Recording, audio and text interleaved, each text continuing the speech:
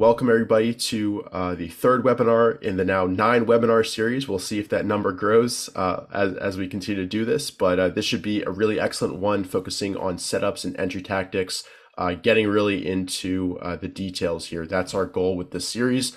Uh, make sure you stick around until the end. We've got a lot of great stuff to cover.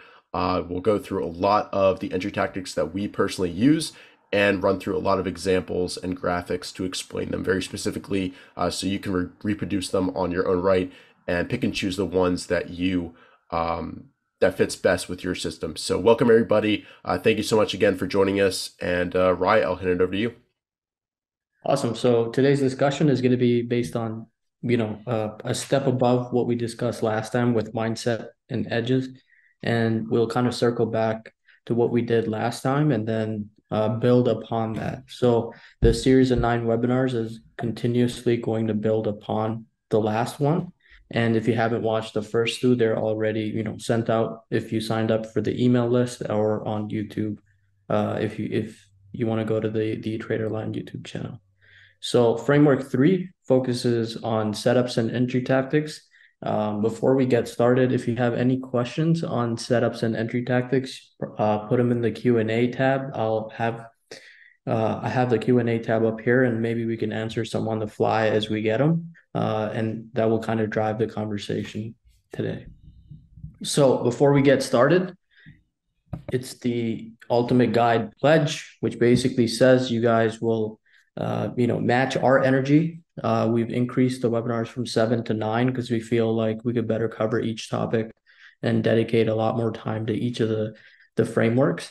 So it's you know your energy we're going to match what we see in terms of enthusiasm, sharing this with others, making sure that you extract a lot of you know knowledge uh, out of this and make this the best possible journey over the next uh, nine weeks as you possibly can. So we're really interested in seeing how many traders we can convert from stage one to two and two to three over the span of these nine weeks, or at least make some sort of difference in the way you guys are trading and see, you know, at the end of the day, see results. So uh, it will be very cool to to see that over the next uh, seven weeks since we're two weeks into it. Um, the agenda today will circle back to what we talked about last time. We will talk about entry tactics, uh, what they mean, what they are, uh, how we define them, and then how they help us. Uh, this is, again, a step towards building a full framework uh, and a full system for your trading. And this component is likely, uh, you know, one of the key ones in terms of execution of what you're doing in the markets, where you do a lot of prep work right? And then you have to execute upon that prep work. This focuses on how you can execute in the market. And you know, if you have a name on radar, how do you get into that name? How do you define your stop? How do you define your entry point? Uh, and this also will go into a little bit into position sizing, but we will get more into position sizing in in other webinars. So we'll con- you know cover a whole bunch of different ways, and then end it off with a checklist, and then take your guys' questions as they come through as well. So revisiting the three pillars of success from webinar two that we spoke about uh, the first one being mindset is likely the most important one. So if you have some you know something personal going on and you still want to trade if you have something you know you're busy outside and it's you know a, a distraction uh, trading and investing they are just you know they're professions just like any other profession. If you have a nine to five job if you're an accountant if you're you know a, a chemist a you know physics etc doesn't really matter. They all require dedication and so does trading if you know likely a lot more dedication than all these other professions combined. The second we discuss uh, pillar we discussed was edges. So we highlighted our two edges that we talked about. If if if you forget everything else the two edges we we spoke about were the uh, the high volume edge and the relative strength edge if you were to just master those two, right? Master those two, just um, look at each of them, their their aspects, and we will build upon them uh, today in terms of entry tactics. But you need an edge in the market for you to repeatedly execute and repeatedly draw an income, and that was the second pillar. The third we talked about was setup. So uh, there's a lot more to setups than, than the word itself. right? Uh, position sizing, risk management, and all of that stuff kind of stems from the word setups. And there's a lot to discuss there. And that's what the focus will be over the next couple of weeks to really, you know, dive deep into the world of setups, what they mean, and really how do you execute upon these theoretical concepts that we've been uh, talking about.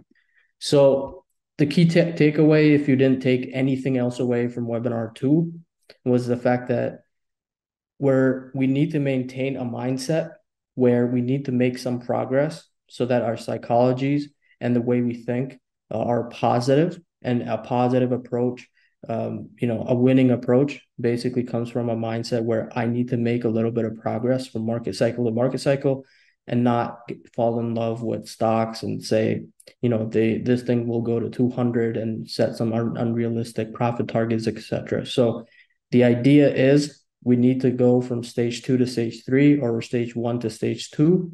We need to look at our equity curves and make decisions and really look at our results that we're getting in the market so that we could turn that ship around and move from one stage uh, to the next. So the EC mindset or the equity curve mindset all it's doing is saying, hey, this is what my results are, and this is what I need to, this is what I know is working at this moment in time, and I need to exploit what is working for me a lot more than what isn't working for me and focus on that aspect of my trading so that I could have smaller losses and larger wins uh, net net so that we could see a higher higher low on our equity curves. So this mindset is fairly important, especially for new traders. It negates some of the emotion that the market tries to tries to kind of magnify with uh, traders in year one to seven, and this really will allow you to look at your losses. So look at your losses so that we can improve upon what we're bad at, and if we kind of you know what Jared Tendler says is if if we improve our C game, our A game will obviously be magnified and get better and better. So Here's a reminder on the edges and setups that we talked about in the last webinar. We talked about the HV edge, which is, you know, basically a visual winning characteristic in the market. It increases chances of a positive outcome.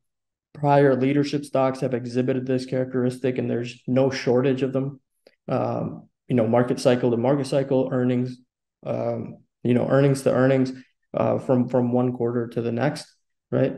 They can be executed repeatedly. So any edge that you have in the market doesn't matter what you want to, you know, you could say, I only look at uh, estimated growth for companies. And I've seen that this is a, you know, this seems to be, you know, repeatedly something that companies that go up to to 300% exhibit that could be something that you know you could build an edge around in the market so some sort of visual winning characteristic executed repeatedly it's a pattern that you see in the stocks that are going up tenfold, uh, you know, two, three, four, five hundred percent over a span of you know two to three, four, five years.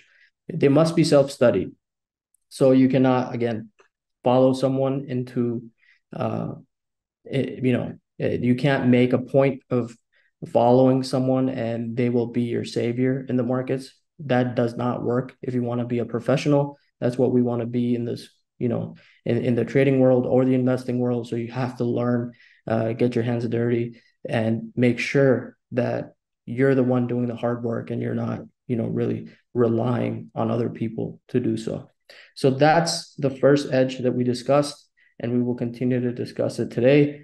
And then the second one that we discussed was the relative strength edge which was you know we see when stocks when the market is pulling in relatively the stocks are showing strength as to what the market is doing. And this is a very key visual that shows up on the charts in many different ways. And that seems to be a visual that many winning stocks uh, tend to exhibit. And we covered some of the, the statistics behind that and why uh, this could be a second edge for you in the markets.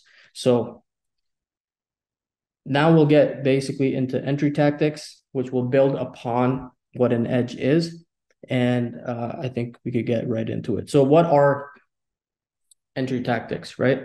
So, just like edges, entry tactics must be self-studied. They you have to. It, it comes down to execution, and when when you prep and you do all the work, at the end of the day, uh, it comes down to you know that confidence builds up as you as you repeatedly do your routines and then when it's time to execute it comes down to entry tactics how will i enter this name that i have an edge in the markets that i know works from market cycle to market cycle from quarter to quarter from year to year. How can i execute this repeatedly that carries over from the edges? You know you you execute upon your edges uh, repeatedly and the, that's the same thing with entry tactics. And the focus here is how do i get an optimal risk reward so that i can then position size manage risk and all these other aspects so the things that we carry over from edges is pretty much the same stuff except this will be the primary focus of today. How do we you know define our risk reward? How do we find ways to enter names after we know that this is there's a probability of a positive outcome right? That we that we said you know mark douglas uh, mark douglas says quote quote we know we can execute upon this edge repeatedly and we've studied it ourselves already right so now this will become kind of the focus of today how do we focus uh, on getting a good risk reward so entry tactics are nothing but after you observe an edge, which is always the first step. If you don't observe an edge, if you haven't seen examples of your edge in play, if you don't have visuals of what your edge looks like in the markets, then you doesn't matter what entry tactic you employ. Uh, you could say that you know uh, Minervini told me to buy pivot highs. That's why I will buy pivot highs. That's not something that you have self-studied, then you will see a lot of failure in that, right? So a lot of what you do in the markets has to build upon the our prior knowledge and our prior knowledge of observing and having an edge in the market. So if we have the high volume edge or the relative strength edge, we can then build upon those and come up with entry tactics. So entry tactics allow you to manage risk. They allow us to position size that's most important because without risk management, you can't position size, and without position size, you can't make many, you know, pretty much any money in the market. So, traders, when they're starting out, have kind of two different mindsets as they go about it. There's this world of if you don't size up and you act manly, then you will never make it. Those people tend to blow up a couple of times before they figure it out. And then there's the other mindset of I know I'm in a journey. I know I'm going to move from stage one to stage two over a span of time. And I will size according to my confidence and how I observe my edges and how I employ the entry tactics over a span of time. So today's webinar is not going to be a shortcut for you to skip a whole bunch of years in your trading, but it will give you the framework and the mindset that it's going, if you go through these steps of having an edge and then building entry tactics upon them, you will get there, be it three to six months, eight to 10 months, one to three years, or four to seven years over a span time. So few entry tactics that, you know, I, I just threw a whole bunch on this slide on purpose where, you know, consolidation pivots, base pivots, pivot retest, undercut rallies, volume support, a whole bunch of other ones that I've come up with for my own trading based on these two edges that I see in the markets. And that's something you have to replicate on your end as well. You identify edge, step one. Step two, now how do I enter these names to define my risk so that I can position size? Because without position size and risk management, I can't make an income in the markets.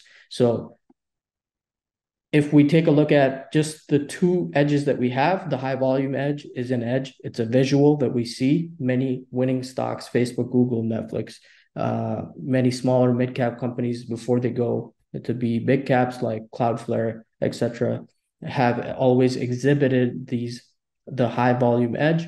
And how do we now enter these names? We will discuss, you know, the HVC, the high high volume close.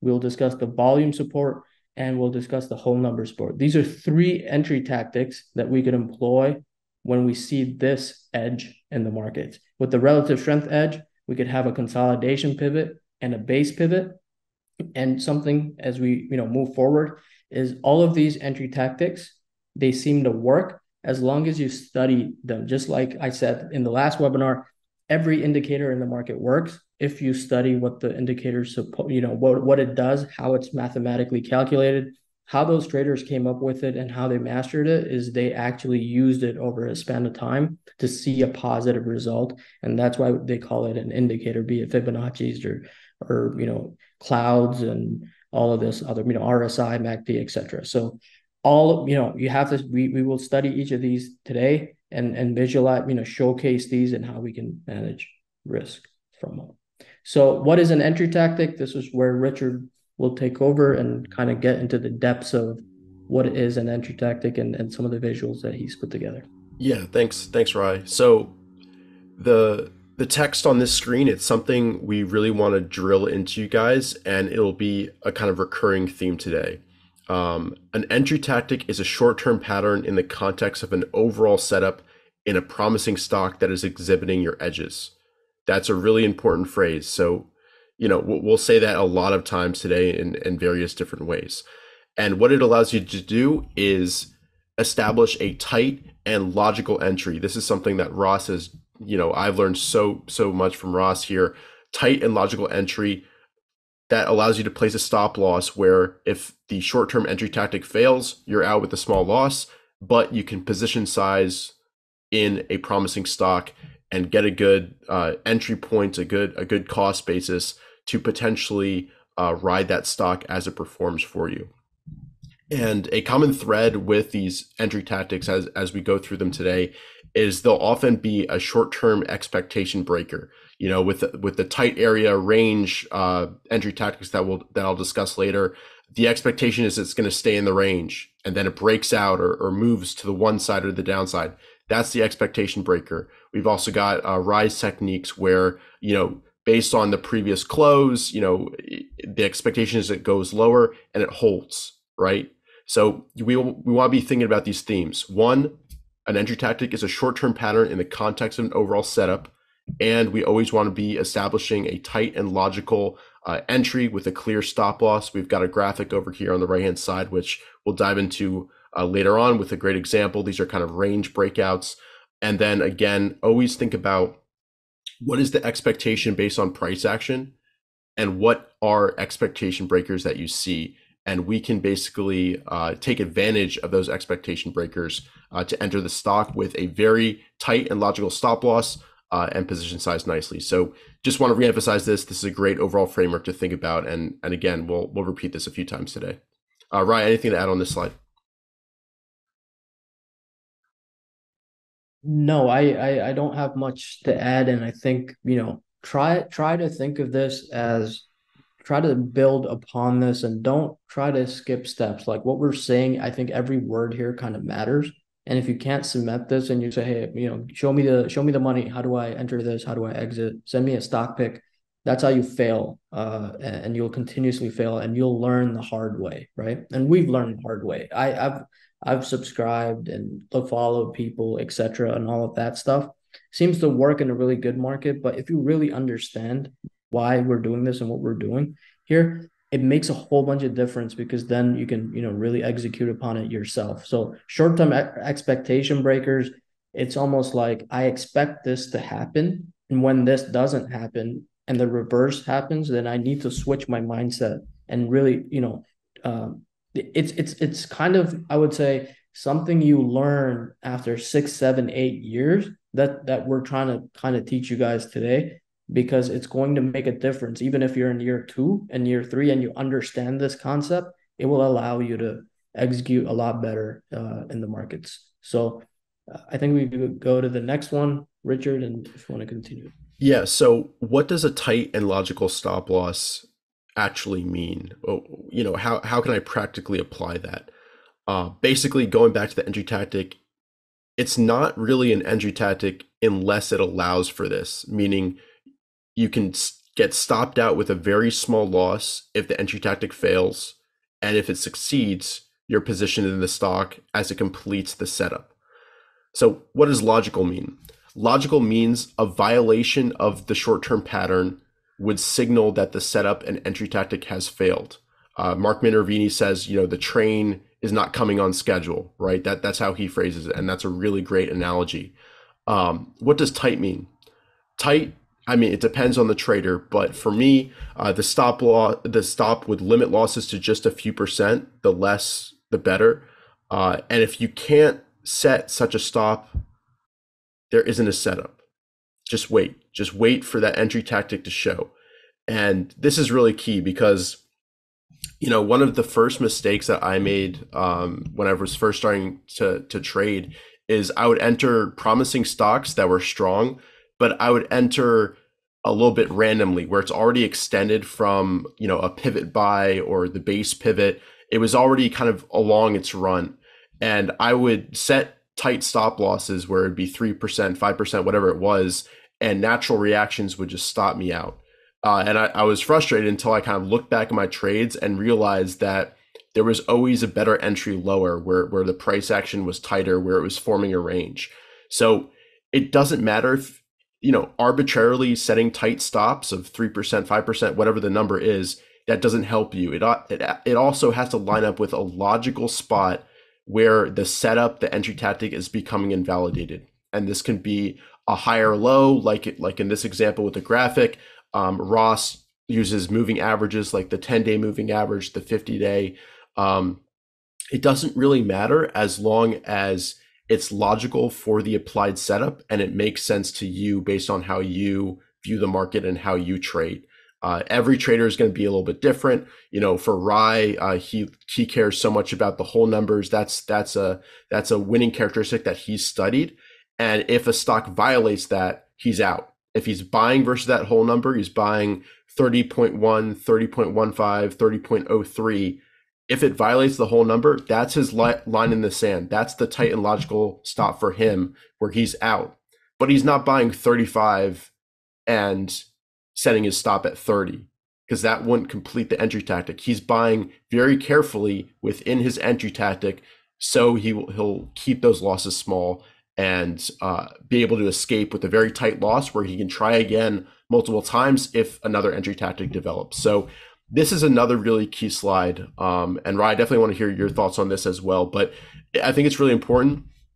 It's it's twofold. It has to be tight and logical. That's the key thing that I want to get across. Just tight doesn't work. Um, just logical doesn't necessarily work. They have to be coupled together where uh, the entry tactic satisfi- satisfies both of both these conditions.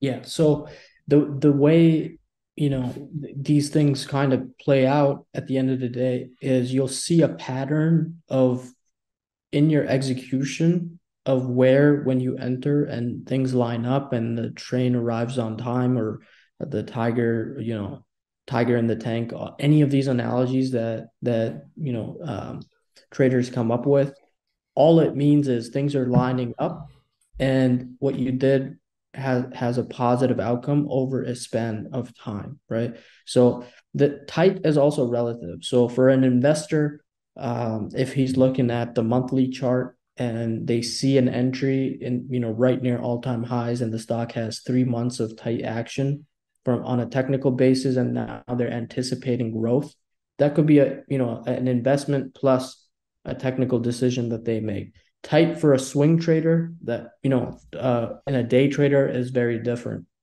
They're purely they've done you know uh, they know that the broader setup exists. They know the broader edge exists. Now they're focusing in on how can i manage my risk and where can i enter? Let's say if i want to buy 5000 shares and i see tightness in price action i risk a whole bunch of money in the markets but my risk is 2 to 3% or could be dollar based risk. It could be uh, share based risk. It, it could be any, you know, risk is what tolerance do you have to see your setup play out?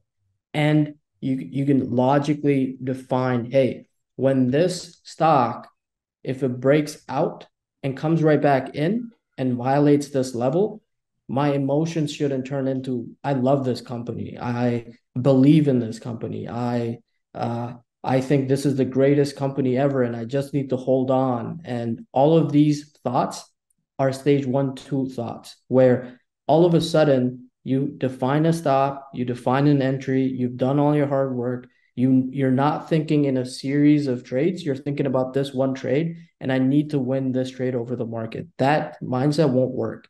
You need to go to the opposite mindset where when you know that this entry tactic, if you execute 40 times in a row, will give you a winning outcome in the markets. And if you don't know that in the back of your head, when this comes right back in and violates the level that you logically set for yourself before you even entered the name, you need to get comfortable with losses in the market, right? So if you're not comfortable and you don't develop that over a span of time, you're making it harder and harder for yourself to move to stage three as much as possible. The other thing I, I think, you know, tight and logical stop. So when we really get into real examples, tight is always relative to a stock, right? Risk tolerance is relative to a mm-hmm. trader and what they feel. And violation of a setup is based on something that you study in prior setups that you see and prior edges that you saw. Hey, the names seem to VCP, let's just pick on VCP 2T, 3T, 4T, right?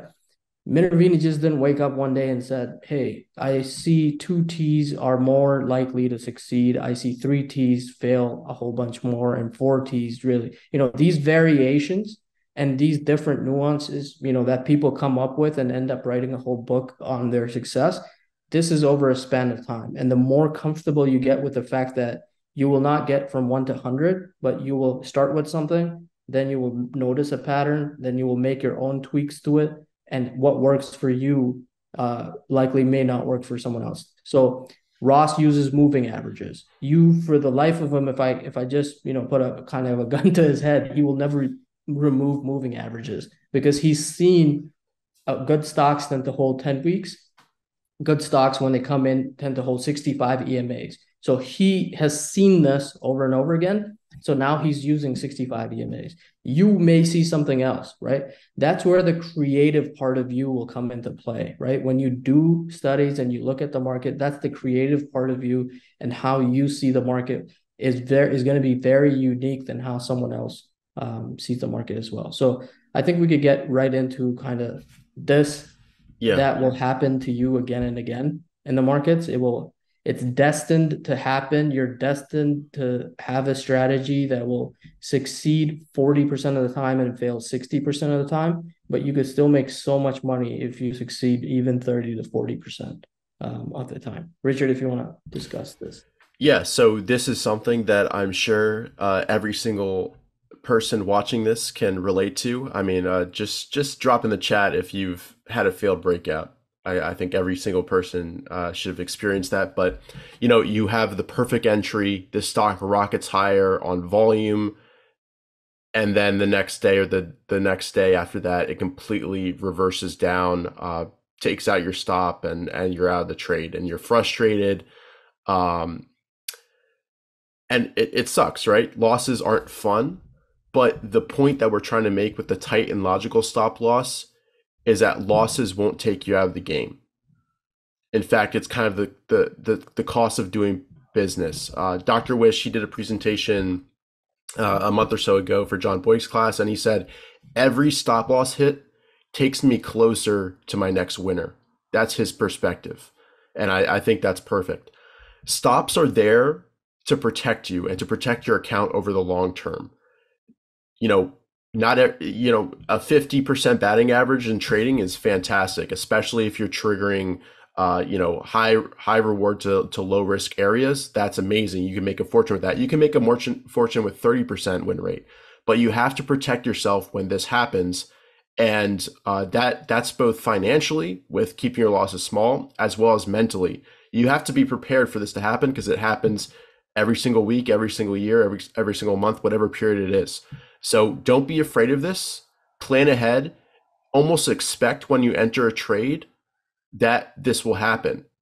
And and think about how will you protect yourself? Where are you placing your stop? When are you going to move your stop up? That's something we'll get into in a, in a future one. But plan for this occurrence because it's going to happen to you. And if you don't plan for it, you'll be knocked off your game financially as well as mentally.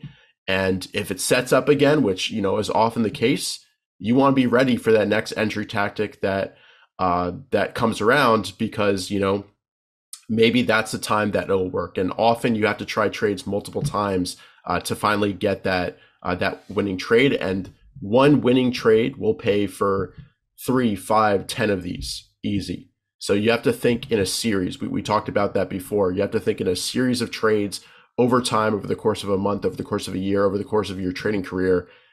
If you take small losses of, you know, 2%, 3%, 4%, 5% over and over again, but you're triggering, you know, uh, you're focused on high potential situations, high potential setups. Um, those at the end of the day are going to be washed aside and, and your winners will overwhelmingly pay for your losers. So that's the key point here. Keep the losses tight and logical so you protect yourself and your downside um, when when these stopouts do do do occur. Yeah. And the only thing that I would add is um, maybe, you know, just take a look at your your your you know the series of trades that we're talking about. Just if you print a whole bunch of trades that you made and maybe you can identify hey i did everything according to my entry tactic. I defined my stop loss but look at where you actually exited right? If the exit your planned exit was here and you exited somewhere down here you didn't follow your plan, right? Or or you it broke out and now it gaps down on you. What what's you know what's stopping you from making that decision and just turning your mindset around, right? Where all of a sudden you think it will just come back and then I will do this and that and that. It happens to all of us, you know, everybody. So print out, you know, maybe your last 20, 30, 40 trades and just label them. Hey, I my entry tactic was this, my stop was this. This is where I exited the trade. I'm not listening to my own entry tactics. If you just listen to to you know your plan, it will make a lot of traders much more it, you know in terms of discipline and losing you know uh, turning around their their their losses it will minimize what you actually uh, do when you follow your plan. So a lot of traders in stage one just don't follow uh, something that they set out to do. They kind of start doing the opposite when the market just slaps them in the face, and all of a sudden they're rattled, right? And when you're rattled, your decision making, your emotions take over. You're not thinking rationally, and that's the name of the game. You need to think rationally when you're under pressure. That's the same thing in pro sports. That's the same thing in any you know uh, job that you might have, if you're put under pressure and you can't make your decision making still doesn't align the same way, uh, then you have poor performance, right? That's ex- exactly what we have as stage one and twos um, at the end of the day. So it's very important to be realistic, to look at what you're doing and really just do this exercise maybe for the past 20, 30 trades. And if you do that, you could tag me on Twitter or uh, Richard on Twitter, and we'll, we'll, we're happy to take a look and you know see what your past 20, 30 trades look like and how do you kind of label. You know, I entered here, I knew my stop loss was this, but I made this mistake. Just saying that to yourself, and the next time this happens, which happens to everybody in the market, uh, will allow you to make rational, non-emotional, and kind of you know good professional decisions at the end of the day. So uh, with that, I think we could go to the next one. Yeah. Um, so I th- I thought this quote applied really well, um, and and I I saw something in the chat that I want to apply this back to. Uh, the quote is from Jesse Livermore. The tape does not concern itself with the why and wherefore. The reason for what a certain stock does day to day uh, may not be known for two to three days or weeks or months. But what the dickens does that matter? Your business with the tape is now, not tomorrow. Um, so I, I saw something in the chat that that was something along the lines of the market makers are out to get stops or, or something like that. For me, you want to focus on your perspective, your risk, and that's all that matters. And you have to follow your rules for for risk management and setting stop losses, and think about yourself. Um, the market is not some nebulous secret agent just destined to you know uh, to to knock out your stops, a trade is either going to work or it's not going to work, and you have to manage your risk either way. Uh, go let ahead, me, Rai. Let me step yeah. on that. So, if a market maker is going to stop you out, what are you going to do? You want to find them and go to your door to their doorstep and stop them? You can't, right? That's the reality of what you're dealing with. Could be a market maker, could be someone, could be Big Brother watching you trade, whatever. It doesn't matter at the end of the day. It really, really, really doesn't matter if you think some force is out to get your 20 30 40 50 100000 dollar account or even one five ten million dollar account you are a drop in a bu- big bucket of liquidity and nobody really cares about what you're doing. And that's the reality of it. And that's you have to not blame other people for your decisions your your eh, you know what you see in the markets how you interpret it cannot be blamed on other people to make yourself feel better. That's humans as you know as as we function tend to do this naturally. There's no person on the other end sitting there to screw you over. And if you have that mindset you'll never be successful right? That comes to again that first pillar we talked about. You have to have a winning mindset. You cannot blame a market maker. You cannot blame uh this Twitter newsletter did this and this person did this to me. And that mindset you successful traders uh, that I've studied and I have a pile of books right here that I've studied you know thousands and thousands of pages. None of them said hey I'm I, I need market makers to not be in the market for me to make money. So that has to be flushed out. Completely yeah. get rid of that if you want to have any ounce of success that you want to see in the markets or else you're just having this negative psychology and this negative mindset of blaming other people for your own results that will not be a positive outcome for yourself. So, yes, there are market makers. Yes, they will screw you over. So, what are you going to do about it? That's what matters more than kind of, you know, saying these forces exist and dark pools are doing this and uh, this person is, you know, placed a bet and now I'm trading off of his. None of that it's you and the market. Uh, any of these, Stan Weinstein doesn't sit there and talk to market makers on what they're doing. Nobody cares uh, about that stuff. So as long as you have an edge, then you employ an entry tactic on that from a trading, swing trading perspective, position trading perspective. If you just do those three in sequence, no market maker is going to stop you from, you know, I'm up what 47 or 47 or 50% this year. They haven't screwed me over all I'm doing is going through what I know tends to work for me over a series of trades. And there's not a market maker out there that could do a thing about it at the end of the day. So yeah, the the key point is whatever. It, even if they are doing that, it's not an excuse to not set stops. You can't use that excuse and blame somebody else. You have to manage your risk. Um, you know, Ross has has a rule during bear market, uh, you know, uh, during bull market strong uptrends where uh, his stops are at an end of day basis whatever tactic you employ to manage your risk, you have to do that. Uh, blaming the market makers is not an excuse to not manage your risk. That's the key point here. And and here we manage risk in real time. You know, price action is all that matters at the end of the day. That's the key point here. You know, shakeouts do happen, and we've got. Uh, we'll talk about an entry tactic today that kind of exploits that and that you can use. Um, Rai, it looks like you got something more to add here. Yeah, no, I think I think it's it's really important. Like my mindset is way too important for you. Don't blame people. It just right. kind of pisses me off in a way because you're trying to deflect your own laziness to make yourself feel better about yourself by blaming some unknown force that you've never seen, studied, or know about, right? Uh, have you met a market maker? Do you know what they do? It's just like some of these theories. Uh, end of quarter rebalancing happens, and people just make that a whole big deal, even though they don't really understand because someone told them that happens, right?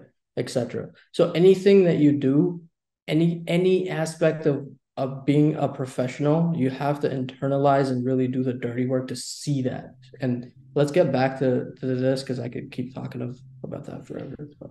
Yeah, this is a key point though here, and and this is another way to think about uh, tight logical stops and stops in general. It's it's simply the cost of business.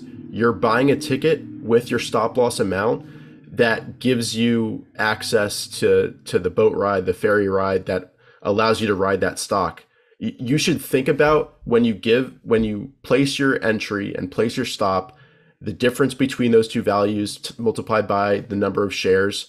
That's your ticket that's you've you've paid that. It's gone. And then if the the stock works for you and you can move up your stop, then suddenly you got a free ride. But that should be an expectation is that when you place your your stop and your entry, that that money should you shouldn't be really worried about that. You've already that's your ticket to ride basically. Um, so let's see. Yeah, don't fear stops. Thank them. Anybody who's been trading, you know, ten years, twenty years, thirty years, they're gonna they're gonna say the number one thing is cut losses short. I think Mike Webster's posted his trades, and about uh, two thirds of them are say cut losses short. I, I think pretty much. Um, so don't fear your stops. Thank them. They're gonna what's that they're gonna be what keeps you in the game for for decades and that's what's going to allow you to take advantage of bull markets, take advantage of uptrends. Uh, if you're on the short side, take advantage of downtrends. But regardless, stop losses are simply the cost of doing business, and you're going to get get stop hits. So accept that and plan for it. Right? Anything to add? No, I think that this analogy is really good. You know, you're just you you have to thank your stops for for for you know they they they're there to not ruin your uh, long, you know, how long you could stay in the markets at the end of the day, right? Even the best people, I think Minervini posted his trades from 2020 or 2021. Um, I've, I've seen trade, you know, I see Ross's trades all the time, and there's a whole bunch of losses in there, but they still come out. You know, Ross had a track record, I think, of three years and 30% in a row, uh, you know, about a decade and a half ago, where and also he was part of that. Size. Yeah. yeah. Vanille, he was part of that team that I think may return 50, 15 million to 850 million. And he he to this day he doesn't do anything different. He looks at charts, looks at fundamentals, combines them, places a few moving averages, experiences a whole bunch of losses, and comes out on top year to year. Simple right? And he believes in that because that journey that took him from, you know, that whole team from 15 to 850, that's what they did. And they're not doing anything different today. It's just a different, you know, it's 2023 now and it's not, you know, 1998, 1997, right? Uh, time frame. So this is a great analogy. I think, you know, we could even put this on a t-shirt or something. Yeah. and, and you might have to buy multiple tickets, right? It might not work the you might not catch the first flight or, or the first boat ride. So don't worry about it. Um, you can control how much the ticket costs based on your entry tactic, and that's the goal today. How, how do you buy uh, a low cost ticket to get on a high potential stock? So let's keep on going.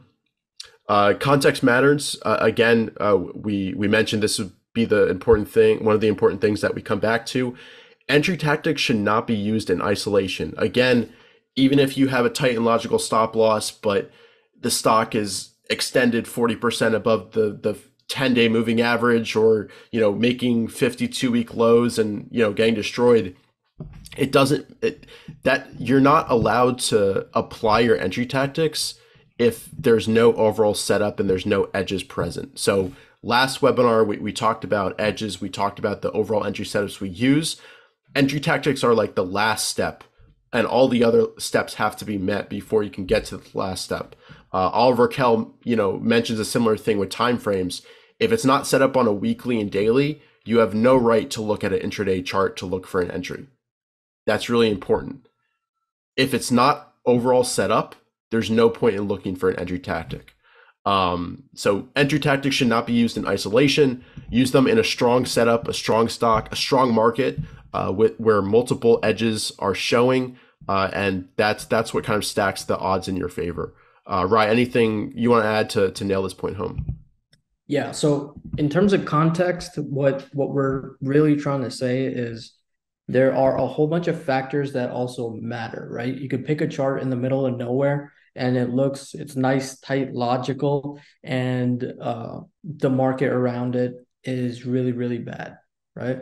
and it breaks out and it fails. That's what we experience, you know, recently, even as of what are we, September 15, 16 area, right? There's some setups in the market working. There's some, if you employ the entry tactics, the same ones, but the market is not conducive to breakouts or your pivots yet.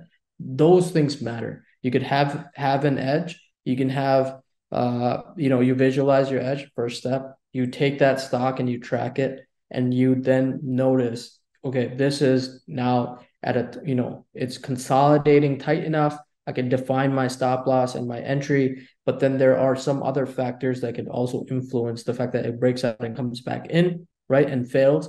That's that's the market, you know, at work. That's the environment that uh, that's at work, and that's something I saw uh, on on Twitter recently as well. as like environment is greater than a setup, right? So that's what really what this is trying to say is you can have a setup ready to go, but if the environment is not made for uh, consolidation pivots, if the environment is a bear market, if the environment is what we experienced in 2022, most of 2022, then it really doesn't matter what you do. It's going to fail and not work. So have some, you know, of that context in mind. We're going into the depths of entry tactics now, but you should not be, uh, forget the bigger picture and what we're trying to build upon as well. So um, yeah, and coming back uh, quickly to to the analogy with the ticket, uh, I see something in the chat. Uh, Minervini also uh, says to think about it as you know insurance policy. Yeah, that's a great way to think about it as well. You know, I don't know how many stocks I've gotten stopped out of, and then they drop. Uh, you know, 40%, 60%, 70%. I got stopped out of Peloton. There was like a low cheat consolidation pivot um, after it already kind of top, topped, but obviously we don't know that uh, unless looking at hindsight. And then that's when it dropped 90% from that point. But I escaped with a two, 3% stop loss. Like it is your insurance policy. It's to, it's to be what keeps you in the game and allows you to keep trying these high potential stocks that can make you a fortune. So just, yeah, that's another great point. And Minervini's books are, are fantastic. Definitely recommend them. They're a, a more great frameworks to to think about this stuff. All right. So, so next, let's now we'll get enough of that psychology talk and and why we feel it's very important. If you think that bores you out and is not important, it's probably more important than what we will cover the rest of the presentation. Um, and a lot of people you'll see say the same thing, and uh, any anyone trading eight, you know, six, seven, eight years or more will say the same thing. The psychological part is a lot more becomes a lot more important after you learn this mechanical part, which is hey, anybody can scan for high volume, anybody can scan for relative strength, but what's the psychology behind what makes me, you know, enter this name at the right time where the most market participants are, you know, are kind of pointing in the one in one direction. That's how price goes up at the end of the day. So we'll cover high volume close now. We'll cover high volume uh, whole number support, range breakouts, undercut rallies, oops reversals, pull back to support, and then go over live examples. Any of these, you know, I've mastered these two. I, I, you know, if you give me uh, uh, a stock that has the highest volume ever, I can pick that stock apart and get the proper entry that I need because I, I just, I know it, you know uh, now. I've I've every earning cycle we see, you know, uh, last year, for example, just just the stat, how many high volume edge, you know, how many stocks gapped up on high volume, be it high, highest volume ever, one year IPO or since last earnings, it was about 88 stocks. The year before was a lot more. It was about 124 or 126 that's the depth of my knowledge on this topic where I know off the top of my head how many HVs there were, which ones I traded, which ones I tracked, which ones were good ones. I, I have a whole like uh, like a whole you know model book on this stuff that I know I if I keep track of it, these things will happen. They have happened this earning cycle. We'll cover that in live examples, but that's the depth you have to go to if you want to be a professional and really see this through on the other end and make big, big progress. So the other ones, range breakout, undercut rally, oops reversals, and pullback support are ones that Richard will go over in depth. Uh, and I think it's a good time to kind of get right into it now. So this first example that um, I've put together is, you know, very simple. It combines a few things uh, together. So this is CELH back in 2020. And what CELH did was this gapped up based for an entire quarter. It reported earnings, gapped up, tight consolidation, sideways action, no real progress. And then it gapped up again. And when this gapped up again, this 7 million that it saw through the 25 to 30 mark was my visual edge. That's the first component of your trading. You need an edge. What's the edge? This is the highest volume ever. This stock saw the highest volume it's ever traded in its journey in the stock market at this point in time. So now this is on my radar. Step one is done. Now, how do I enter this name? That's what we're here for today, right? There are a few ways I enter these type of names. I can go to, you know, I can look at the highest volume close, which is where did this name close? And I could draw a straight line. That's one way of tracking that above that line, I have some interest to go long the stock. Below that line, I need to wait for a new consolidation. Very simple way of defining, you know, if you're new to trading, that's one way to kind of get into these names. The second way is to look at kind of volume support. So what I would do is every time a name has a setup, uh, you know, a, now an, a visual edge on the daily chart, I pull up the 15 minute and I look at where did the bulk of the volume trade on this particular day. So I pull up the 15 minute on this particular day. It's very easy to visually see did it get most of the volume early on in the session? Where did it get that volume? And if the stock were to pull back in, right, I should we should see secondary demand and my risk at that point when I'm defining volume support will be very very low. That's the second entry tactic after you visualize your edge in the markets. The third one that I employ now, I like I said, every time I see these, it's I I know there's an opportunity to make money in the markets because I can enter this three, four, five different ways that I see that have worked in the past and have mastered each of them. The third way I look at it is if this is the first time the stock is going into the $20 area, $25 area, $30 area, that's that is always a sign of eh, there's go- going to be an increase in liquidity in that stock. And that's just it gets on more radars more funds are interested. People that have a lot more money 100 million 200 million 300 million portfolios they look for stories that they really believe in. They look for stories that they feel can double and triple in terms of their you know they put in 50 million into the stock they can turn that 50 to 75 and 100 at the end of the day right? So they are far more interested as the price goes higher and liquidity is going to increase on those names. How do I know that? That's just an observation you make. You make that again and again, and over a span of time, you incorporate that into how you think. So the third way I, I enter this name is when this stock for the first time has traded above the $30 mark, came back in. That's that's my whole number kind of entry. So I combine the fact that this was volume support combine the fact that this was holding the 30 mark on its pullback and then that's where the expectation breaker mindset comes in. I you know the stock is pulling in on increasing volume. I expect this stock to go lower into you know this range this highest volume ever range. It didn't do that and it had a you know a move to the upside. This blue day right here after the two down days this this blue day right here is an expectation breaker to the upside and that point, that's one way you can enter and set your stops at 30. I'm big on whole numbers. We'll get more into this as we get to, to more and more examples.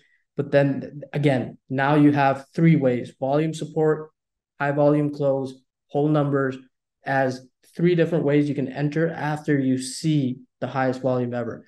The next one, you know, is this is very, you know, above the 10 day, the stock builds a pivot, the volume is drying up. So pullback on low volume is a positive and the expectation is this will break out to the upside. If and when it does do that you can then enter again. Some call this a consolidation pivot right? So you consolidate the price consolidates and moves back on below average volume and then price rises on this green bar on increased volume and you have this line that you draw. You could draw a horizontal downward trend lines, um, whatever it is that that you know works for you, that becomes your consolidation pivot, and you enter the name in. And this name, all okay. If we think, hey, uh, it traded at twelve and it's moved to thirty, um, this is extended. That's the mindset I used to have a very long time ago. Uh,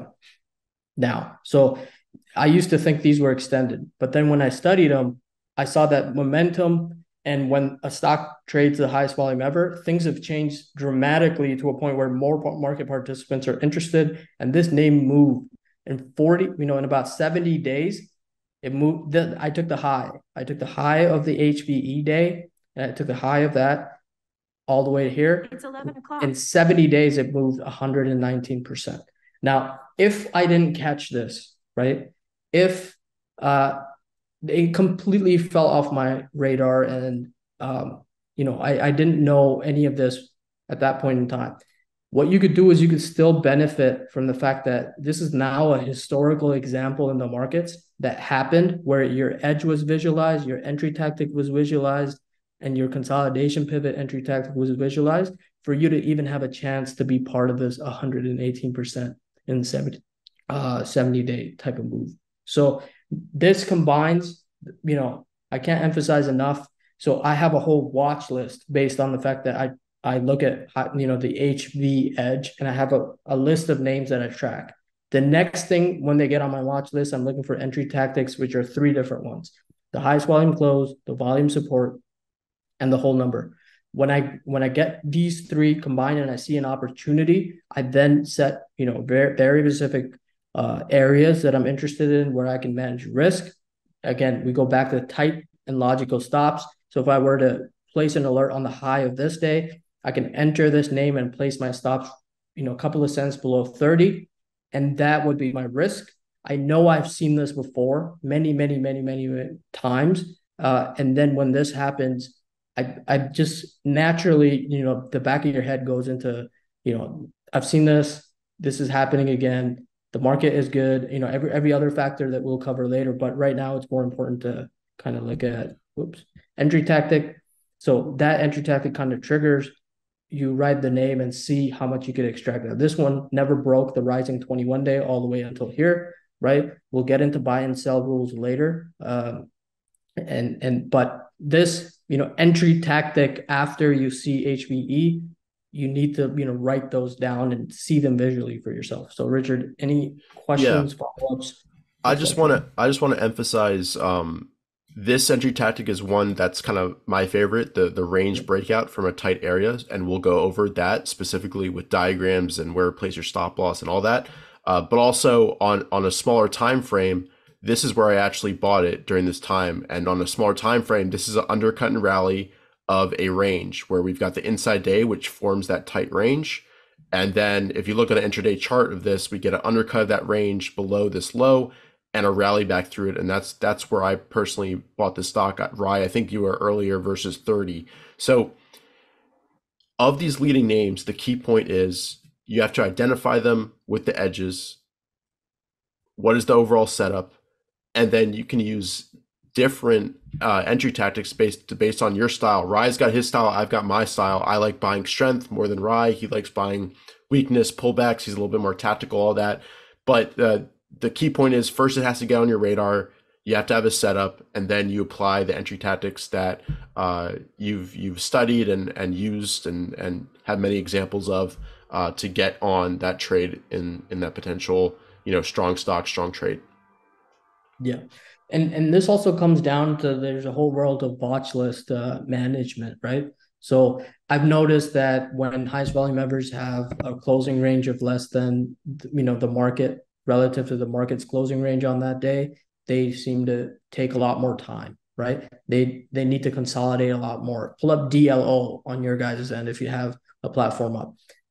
Poor closing range, it's going to take time, it's going to consolidate that's just the nature of if you go back and look at those type of names and when they have poor closing ranges relative to the market, they will kind of struggle, right? When they have good closing ranges and the market's bad, that's even better. That's going to get instant momentum to the upside because that's how price works.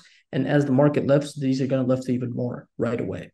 So the nuances of how you trade these, uh, we could spend probably the next couple of webinars on that. But the first step, identify it place it on a watch list. Now, this could be any any edge that you see in the market. Could be uh, estimates, could be growing sales, could be whatever.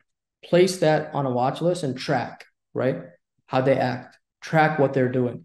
What what I'm discussing here is I buy on weakness because I know that this name has to hold volume support for this to kind of go and do that, right? And when they do hold volume support, when they do hold hold numbers after the fact, you know, they work. And I have examples, you know, pins, snap, uh, CELH, this one, um, Coupa Software, uh, any any name, uh, Upwork, uh, like there's so many examples that come to mind where they gap up for the first time through 25 30 they mature as a stock they come back in hold volume support and then do this again and again right?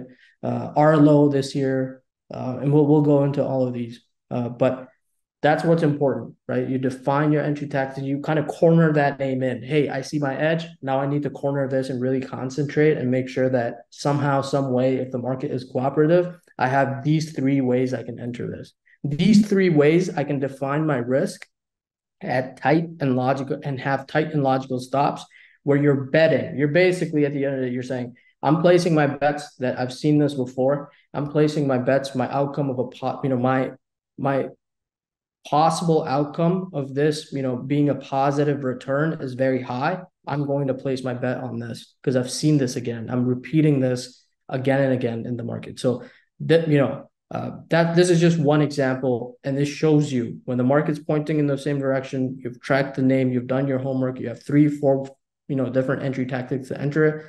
There's no way in hell you'll miss. Even if you miss this, there are going to be 30 others in the market. In a good market, right now, my my HV watch list has 42 names, 45 names, right? So if I just catch maybe three of those, just three, three out of 40, 45 names, three out of 45 names, if I catch those, I'll be more than fine in terms of you know position sizing and getting into this to make a whole bunch of progress. Uh, yeah. In my portfolio. So and and coming back to mindset before we move on to the next slide, um, you know, I tried this stock a couple times in this base. I think through this consolidation pivot as well. And I got I, stopped I out, or, or I, I didn't have enough cushion before earnings. And then I missed this bar completely and a stage one trader might give up on the stock and oh I missed the move. Uh, yeah. But you you have to recognize that uh, there's still power within the stock. The earnings are just reconfirming that power, and then just apply the entry tactics. So don't give up based on small stop loss hits or or trades that didn't really go anywhere.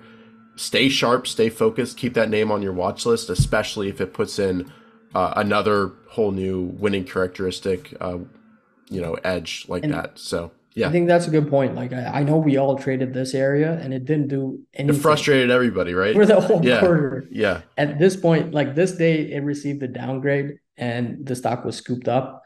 Uh, it held expectation breaker. Yeah. Yeah. And it held 17.5 this whole base. So there's so many, like, there's so much to talk about here. But if we just focus, like, if you got chopped up, it's perfectly fine. If this mind, Richard nailed it. Like at this point, I used to think, hey, uh, I should be up in here, and now this name is way up here at 30, and I should be in right around 15. I've completely missed this, right? And I would just get very negative about it. But if you just look at it, the real move, if you just position, if a, if a trader buys 100 shares here and 150 here, and you buy 100 and you hold, the trader with 150 shares will earn more money so we'll get into the position sizing, how position sizing more at the right time will net you a better return than position sizing less at a time where you don't have the confidence to hold it through. So that's that's something that we could talk about as well. But um, what we're trying to drill down is the first two steps. Please have a process. Please manage whatever edge it is you have in the market. Manage a watch list. Then corner that name in and make sure you have ways to enter if this is going to double, all you have to say to yourself is, I know that stocks that exhibit this show this characteristic. If this is going to double, this is how I will enter this name. That you know, this is one way. This is the you know undercut and rally, uh, low cheat, consolidation, volume support, whole number support are all different ways of saying this. And if this name is going to go higher, I have these ways I can enter this with tight and logical risk to go with it. So I think with that, let's go into um, yeah breakouts. Yeah, so this will be. Uh, I've got a few slides on range breakouts, which is the entry tactic that I probably use the most. And then there, there's a few different variations that I'll get into. Uh, but remember, this is always in the context of an overall pattern. And in this diagram, you know, this larger base is kind of the overall pattern And then there there's two potential entry tactics that I've highlighted where there's smaller ranges with smaller pivots. Um, that and that's kind of what we're focused on today.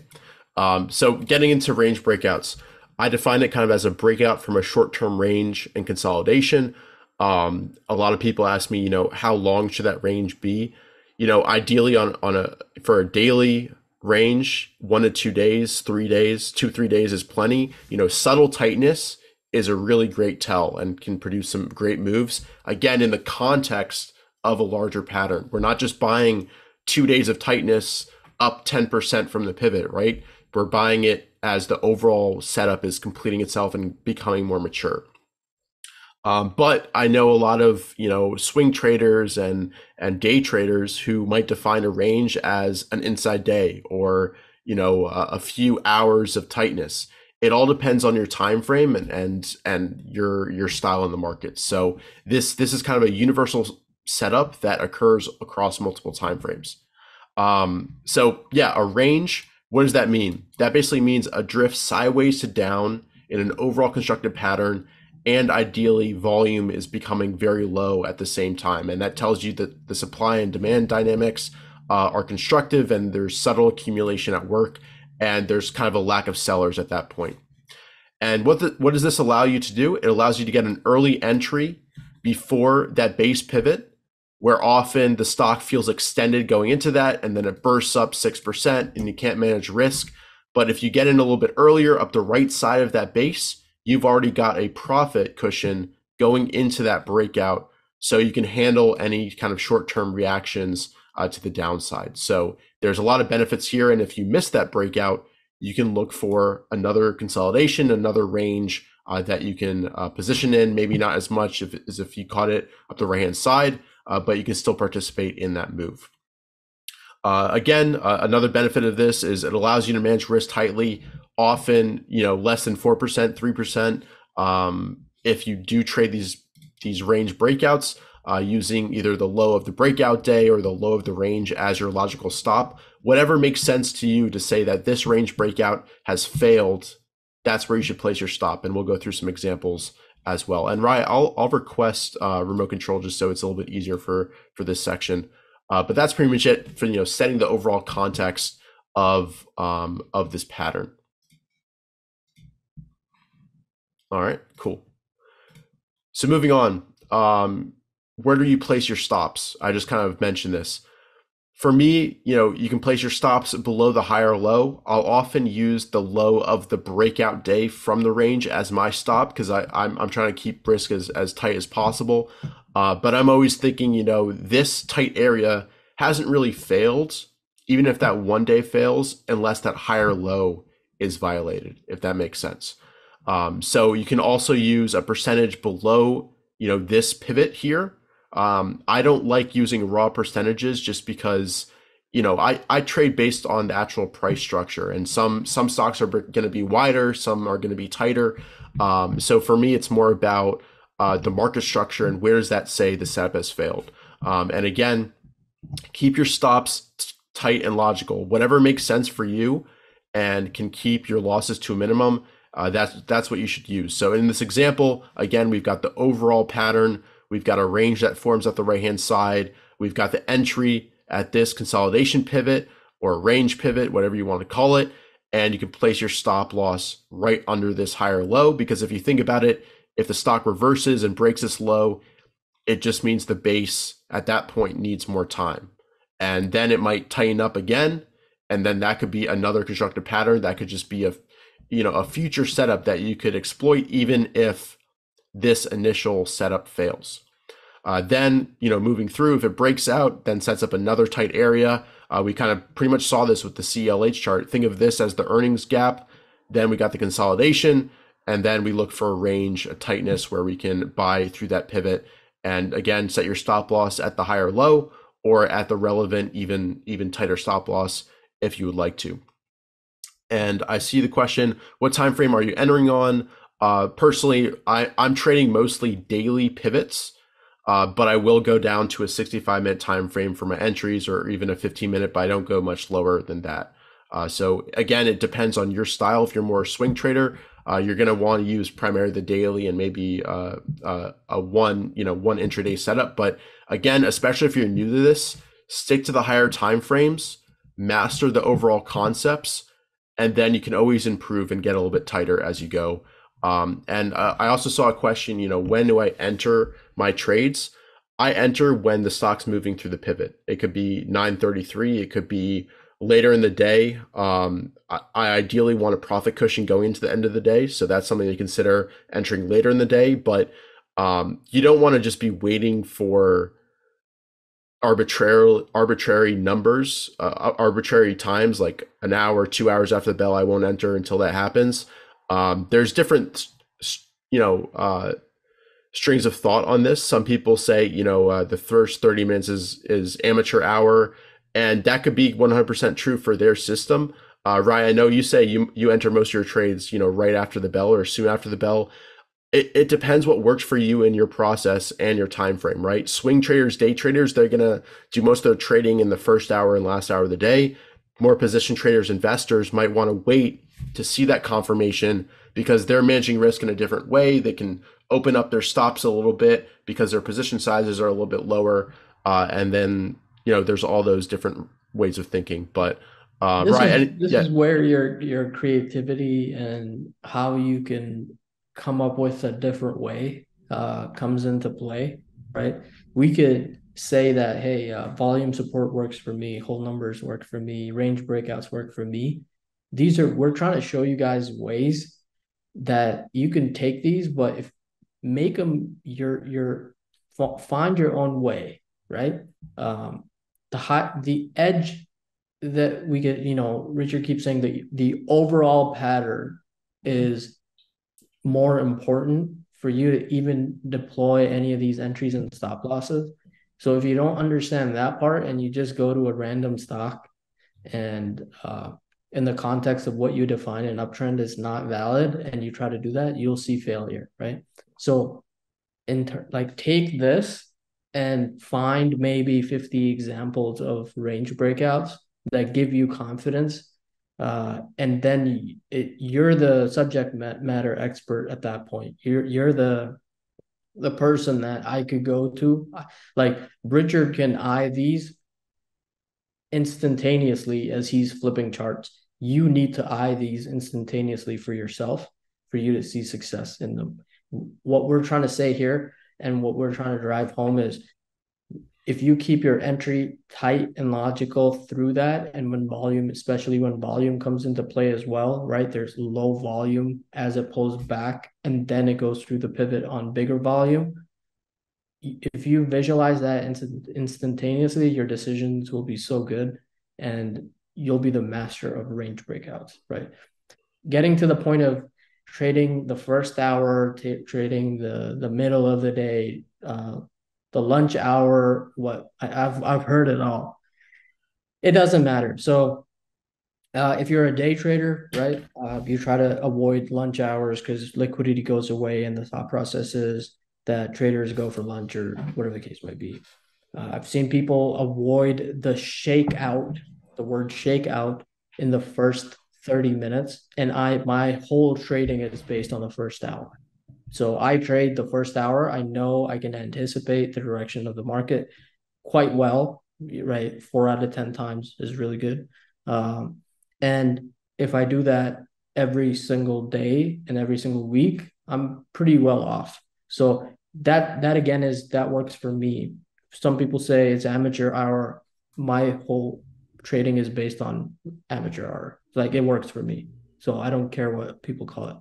So it all take it take it back to what fits and what works and how you creative you could be, right?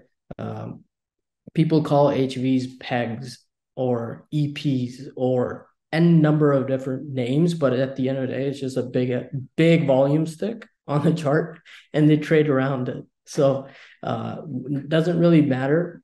Take it back, and you know, if you find 40 examples, 50 examples, these you could trade it better than the person that's just watching this and not following up with it after the fact. They will get, they will not be able to eye the entry, but you can eye the entry because you trained your eyes for it. So Yeah, and addressing some other common questions that I, I see a few in the chat. Uh, personally, you know, I'm watching the price action first. Um, then, if volume is coming at the same time, that's awesome. Uh, I, I use the the volume run rate data point in Deepvue to assess, you know, in real time, you know, how is volume tracking versus the average, and it's great if that's 100%, 200%, 500% above average, but the price action move is really what I care about. Um, ideally, I want to see volume coming in later, but that, that's a secondary thing. And then also, I see a few people um, trading full time is tough to, to buy these entry points and to use these entry tactics. Um, I would say it's definitely tougher, but make use of alerts. Um, Rai, I know you you trade from your phone. You you almost prefer that. Um, well, my my execution is based on my phone. Yeah. So Oliver Kell won, and, and Oliver Kell won the U.S. Investing Championship trading from his phone. So use your alerts. Um, you know, in View, you've got hundreds of alerts at your disposal. Use those. Uh, take a quick glance at your chart if you can, and and also you could use buy stops, uh, sell stops. I did that when I was working at the Naval Research Lab. I couldn't watch charts during the day, uh, and I still found success with that. So, whatever style or or constraints you have, you can find a way to make it work.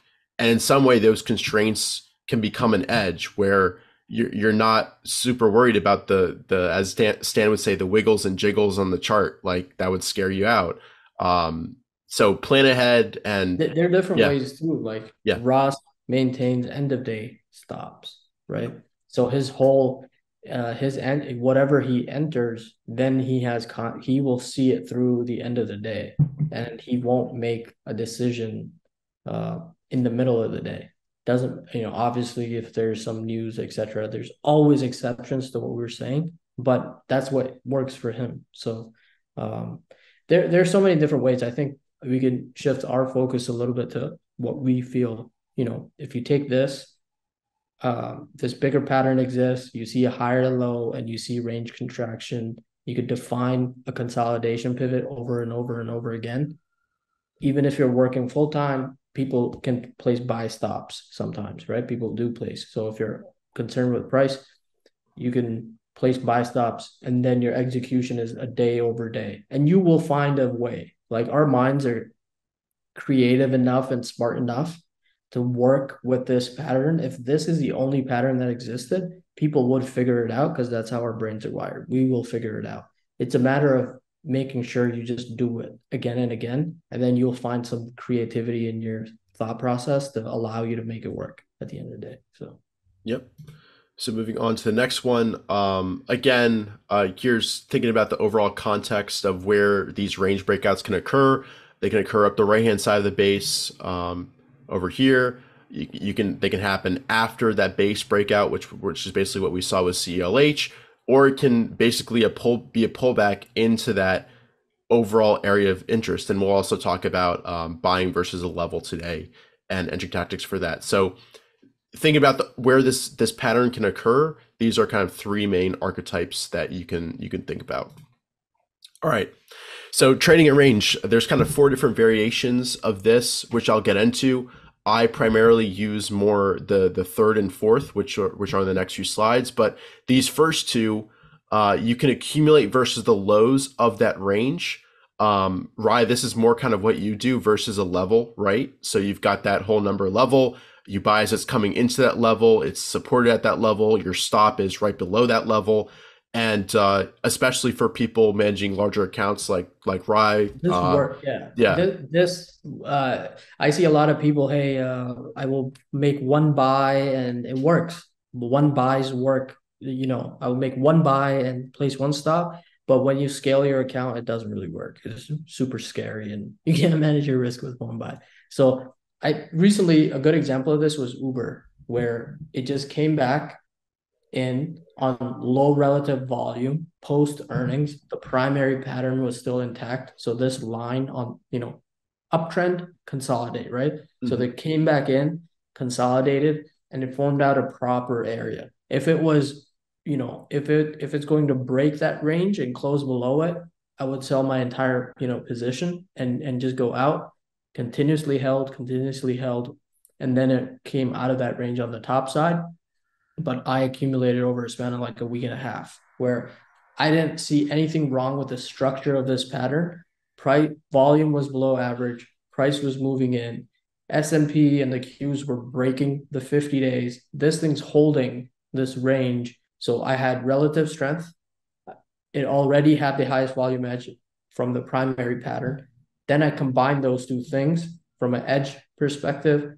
Entry tactic was buy the consolidation lows and accumulate your position bit by bit, but know your exit. So knew knew my exit, never triggered, and now you're up on the position. Now you could scale up, move up, move up your um, stop loss, right? The stop loss can be a little bit above the, the lows of the consolidation. Now you're in the money. Your mindset switches, you know, from that to can I switch to a 21 day rising? Can I switch to a 50 day rising as to how I will exit that position? But whatever it is, but you know, barring a huge gap down and all of a sudden Uber makes no money overnight, which likely won't be the case, I will be in the money on this trade. And my psychology is positive, my mindset's positive it's going to net me a positive return, a positive outcome. And that's all that really matters at the end of the day, right? So yeah, and we should we should dedicate a whole section of next the next webinar on stop loss management because I, I know that's a big question a lot of people have. And and people yeah. people that work full time, and I think that's something we need to maybe make a, a bit of a focus on uh, to in uh, webinars going forward. Um, that your execution can be based on you know the more you try to corner yourself the one buy one sell it gets a bit harder because you get you're shortening your execution time frame where you have to be present and look at certain factors for you to be effective in the market right um, that's something i ran into as well like myself but if you had, you know, I'm going to piece myself into this. And that's something Nick is big on as well, where he will accumulate a position, you know, a third, a third, or a third could be a fourth, a fourth, or a fifth, a fifth, 20%, 20%. Ross does this as well. He will accumulate position, but he will have on the top side a consolidation, but I'm going to finish it off when it moves through this consolidation on the top side. Right. Right. And that's where he routes. So maybe he has uh, 20%, 20%, 20%, we're at 60. All of a sudden, this doesn't come back and breaks the top side. He rounds that position off, you know, buys the additional shares uh, on the top side if he feels that this thing's not going to come back anymore. So then his average price is somewhere in the middle here. His stop loss is still very defined, and he can then manage the trade uh, accordingly. So, yeah, Perfect. So the, the second kind of variation is is buying tightness, anticipating the breakout through the top side pivot. Um, and you can place your stop, you know, below, you know, an even even tighter, higher low entry end of the day. You've got your stop here.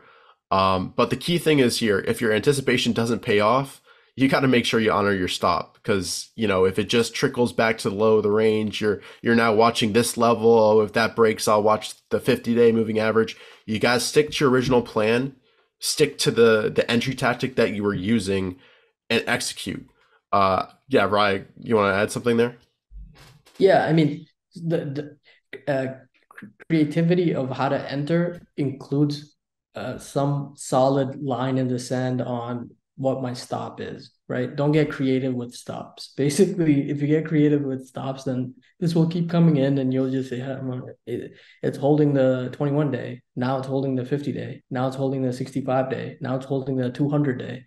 And now your entry was here and, and the stock is all the way over here. And don't be creative with your stops.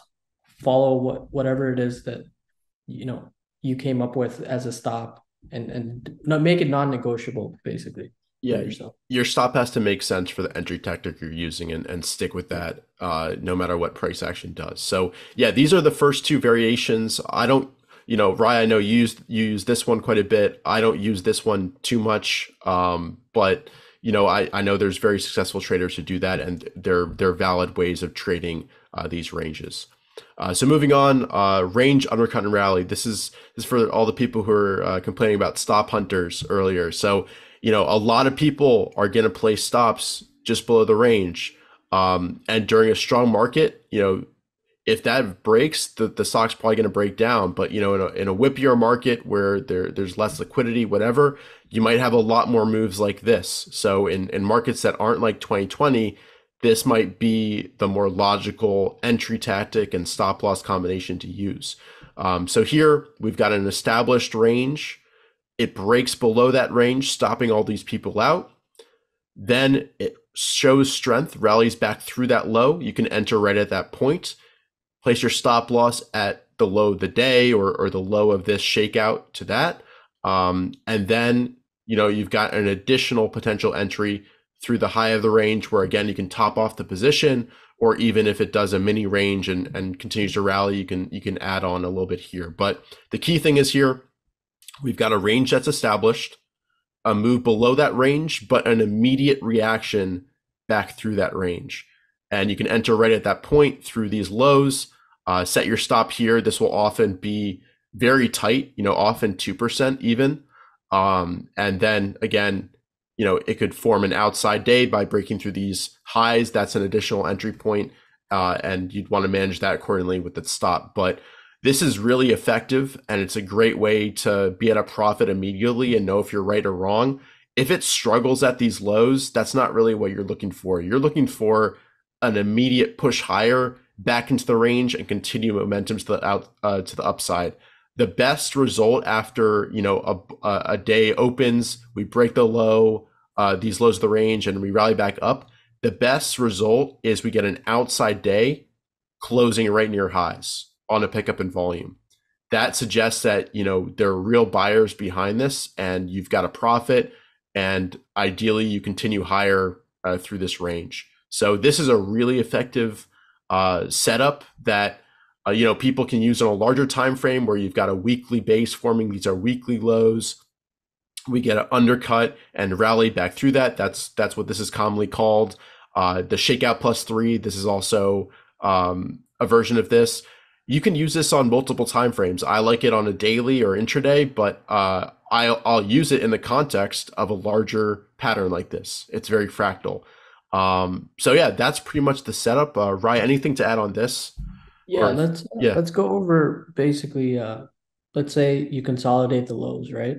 And you have a twenty percent, twenty percent, twenty percent. So you you're accumulating shares versus a level. Now that level is broken. So you exit the position, right? That was your stop loss. You exit the position. You had sixty percent skin in the game, and you came out on the losing side. So that's one losing trade that you had. Then you see this happen. And again, the primary pattern is intact, right? Mm-hmm. Uh, what you and you know the entry tactic that you employed here failed because it could be a, a function of the market, it could be a function of news, could be a function of downgrades, etc., whatever the case might be. Broke it, you followed your your sell rule and you lost out on that position. But when you see this happen, it takes a very long time for you to come to the terms that what happened here is not personal.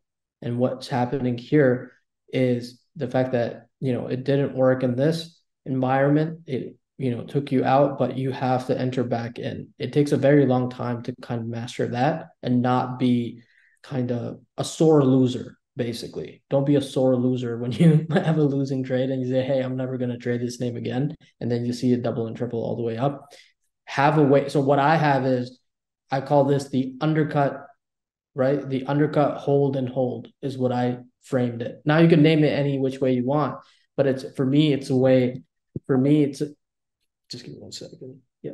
For me, it's a way uh, of of getting back into a name that shook me out, right? So now I have a entry tactic. I, that entry tactic fails, but I have an other way, another way of entering that stock in, right? So it's like a it's like a backup backup plan right? I know this name is going to be a winner. I know that if the market is good and everything else lines up, I know that those things are going to, to result in this being a winner, right? If the market is under pressure, then I may be taken, you know, I'm taken out of this, but I I want to fi- I want to corner this name after the primary trend is intact. I know I visualize this and my edge is there. So I'm all we're doing here, the difference between this the difference between this and the difference between this is I have two different ways of maintaining a position into this name because my probabilities of this name doubling and tripling are really, really high. So that's all we're trying to say here. So I call this the undercut. If it holds for a few days versus the low, then I enter right here and then see how this rallies up and out. If this does a we, then I kind of enter a little bit at the top of this prior consolidation because I feel more comfortable here than I do here at that point. But I have different ways of finding my way in uh, into a winner. So yeah, and I'll add, you know, on the weekly time frame, O'Neill again. This would this would be his shakeout. Oh, I'll go back. Yeah, this would be a shakeout plus three. He would add more shares if he got shaken out because it's it's kind of reconfirmed the demand. And I do want to stress that you want to see kind of an immediate rally back up. You don't want to just be buying on a down day, down, down, down, down, down, down, down. You want to buy on strength as it's as it's showing you that it's recovering. Often, you know, there'll be a gap down and then it rallies immediately. That that's the kind of buying pressure that you want to work with, and we're getting into the weeds there.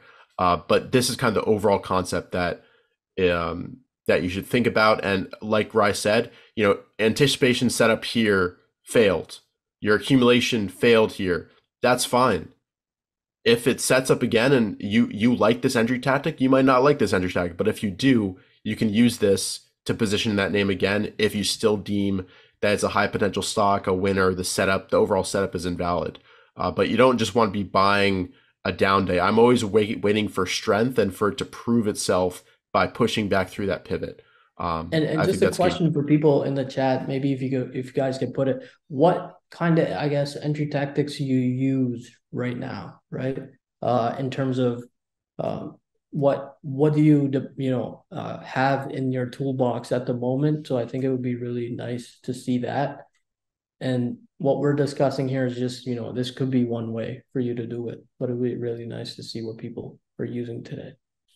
Yep.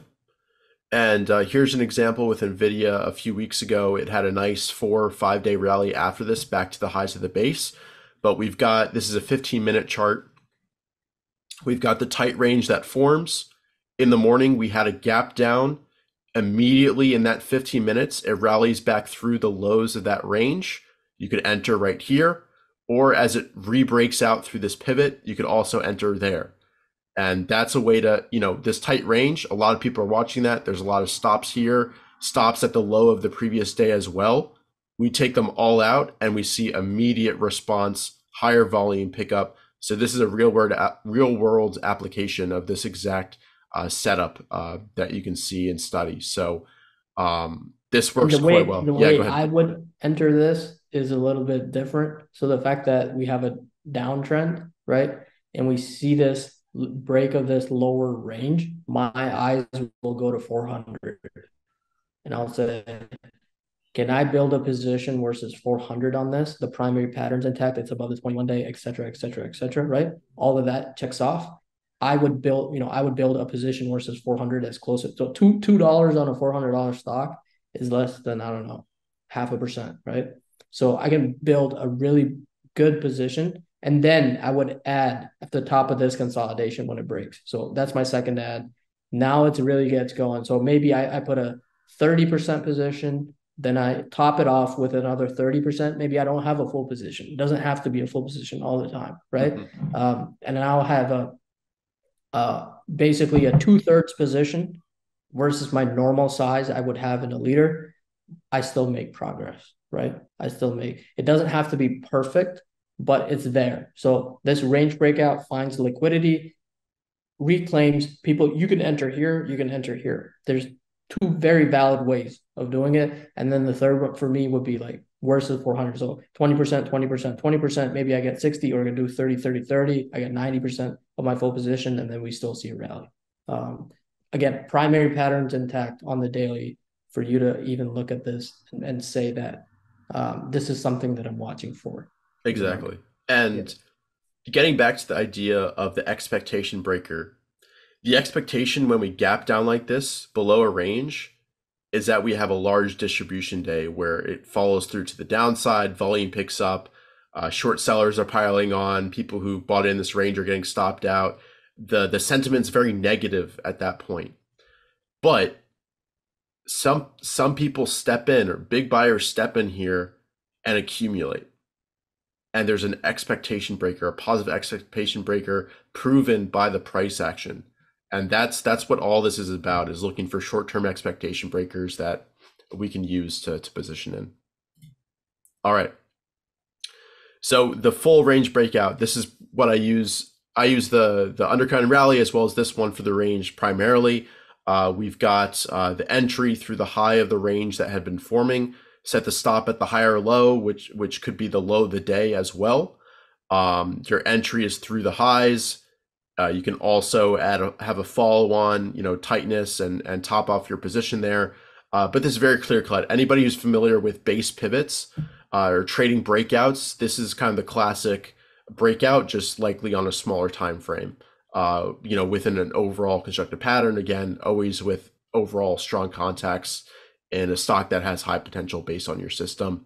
Uh, setting stops, you know, right at the low of the day, low of the range, higher low, uh, whatever you want to use. And as it makes progress for you, you can move up your stop uh, to make sure this is a, a, green trade. We'll get into the details of that in, in the next webinar. Uh, right, anything with this one that uh, you want to double down on? Yeah, so if if you're tracking a range breakout, have expectations for each day, and if it continuously breaks those, right, moving down on heavy volume. My expectation is it's going to continue lower. Hey, mm-hmm. it didn't. Right. Why didn't it do that? Well, that's the nature of the market. It just didn't. So now you say, okay, that's an expectation breaker to the upside. Now, you know, I'll continue to watch this range build out. I and you know, I expect this this pullback. Okay, it's on low relative volume. My expectation is more sideways or down action. It goes up right? So as you track this, you're working full time, you're day trader, your swing trader, your position trader, it, it applies. Because if you look at it on the daily or if you look at it on the weekly, that that justifies your time frame, but you are tracking how this is forming. All of this range and, and the way I look at, you know, primary, you know, my my what what I call the names that will make me money on you know cycle to cycle per se i track those heavily and when it's time to go at this point this entry when it's time to go all my conviction for my position sizing comes from the fact that i've properly tracked it in this area and i know this name is ready this name is ready when the market's ready this name's ready when the market's ready this is ready to go it breaks even though the market may be poor, I would still place a bet on this. Then the market turns around, it goes even more, right? So make sure you, it's not about, hey, I see a pattern. And when it gets to this, I will make a decision. But you could take a step back and kind of just track it day to day, right? A pattern, a pattern that forms over a, a span of multiple weeks and you're tracking it will allow you to size it so much better than you just say, I'm placing a line whenever I get the alert, I get the alert type of thing. That works as well.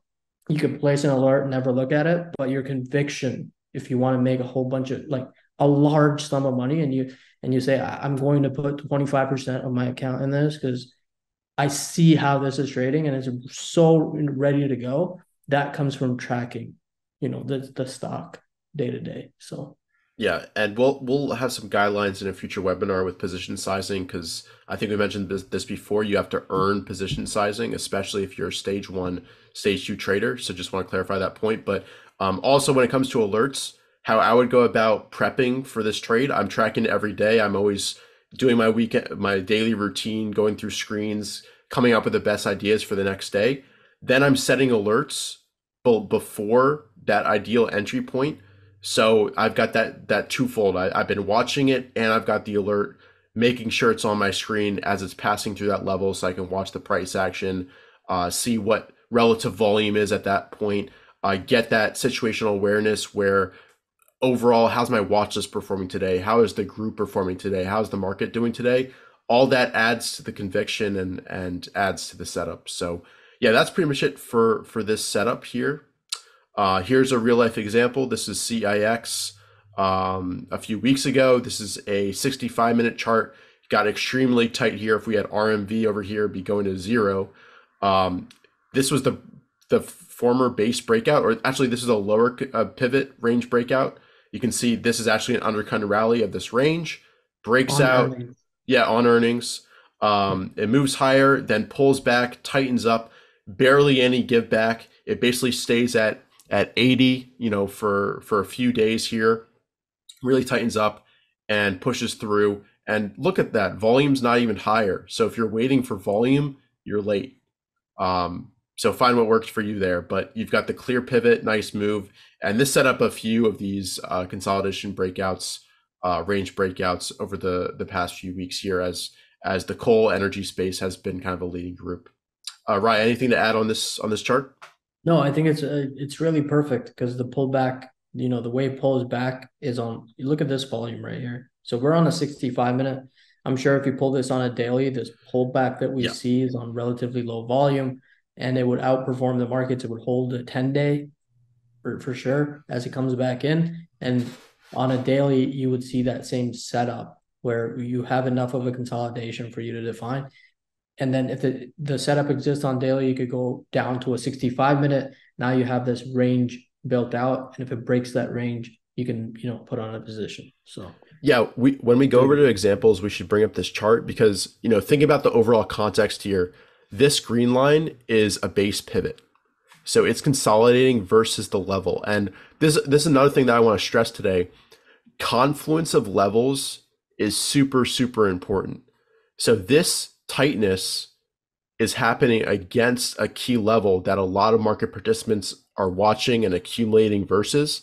So we've got the overall context that just broke out of a base, pulled back into that base pivot, consolidated tightly, and then had a range breakout on a lower time frame. On a day on a weekly chart, it makes sense. It's it's a pullback to the pivot. On a daily chart, it makes sense. It's a it's a pullback on lighter volume against that pivot and on a 65 minute time frame the entry tactic is valid so that's really key so yeah we'll definitely bring this chart up uh, let's see all right so the next one oops reversal um, I this is developed by Larry Williams. Uh, I learned this from JT over at Ticker Monkey. It's another very useful setup.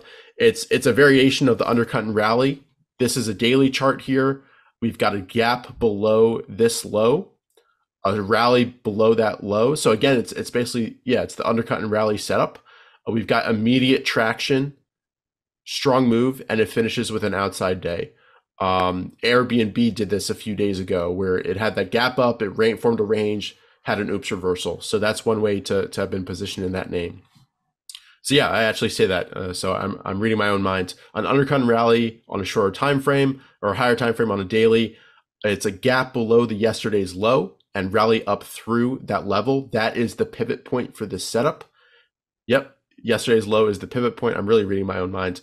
Um, it should burst through the low. We talked about that immediate traction, immediate momentum. That's what we want to see here.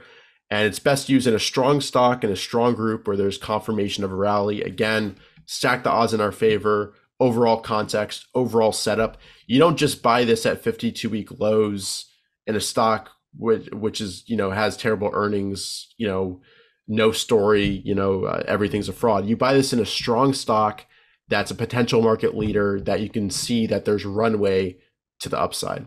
Uh, and it's an expectation breaker again because we are expecting with this gap down below this range that we continue lower. Instead, the opposite happens. Uh, we rally strongly back through that low. So, yeah, that's that's the oops reversal. Definitely a really nice entry tactic. Um, for for those daily timeframes. Um, so here it is in real life. Oh, here's Airbnb. So we have a gap up, forms an inside day, gap down below this low as well as the the prior day's low. Immediate traction. It had a nice rally for a few days. Gain, you know, it went from 140 to basically 150, uh, and then it did have a pullback. Obviously, the market uh, has been a little bit uh, shakier here, but it's holding. Uh, but that's that's kind of the short-term entry tactic that you can use in an overall pattern, an overall base up the right-hand side above the moving averages uh, that you can use to position in a name such as this.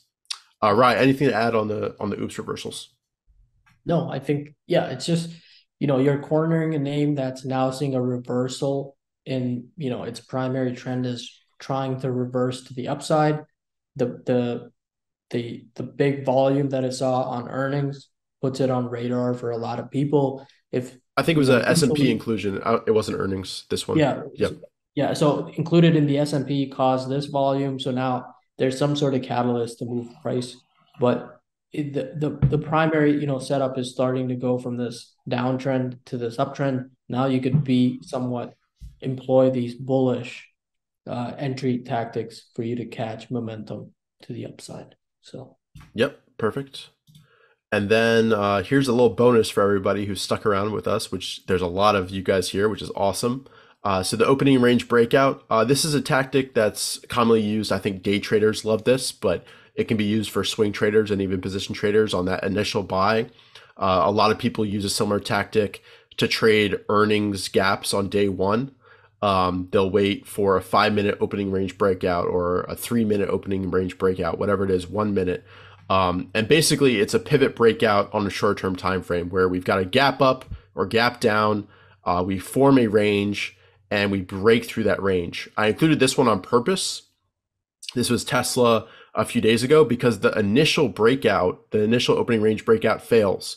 And this is the reality of trading, especially intraday timeframes. Uh, it then reforms, holds the anchored VWAP from that day, and re-breaks out through that pivot. So this is a common variation. You know, this one isn't going to magically work every time. That's not trading. You might have to try it a few times. Um, and this one ends up working, and and this is the Tesla uh, gap up that I think ultimately the stock was up 10%, whatever, on that day. Uh, so definitely a very powerful um, entry tactic that, that that is a lot more short term time frame than most of the stuff uh, we're talking today. Uh, and this works best when the whole market is rallying uh, either on a gap up or on a gap down. And I see it, you know, on the stop loss. Let me ask you guys, where would you place your stop? Where where would this setup, if you enter here, logically fail. So Sean says low of the day. Uh, for an entry point like this, low of the day, you could do that depending on your time frame. Uh, for me, there's a tighter entry uh, below the pivot low. Um, so I, I think that means yeah, the higher low. So Robbie says higher low. So yeah, I would place it below this low here, or you know, if you're being super tight, the low of that breakout day. So you, you know, for the context of the of the setup, the time frame you're on, you want to apply uh, a logical stop for that time frame.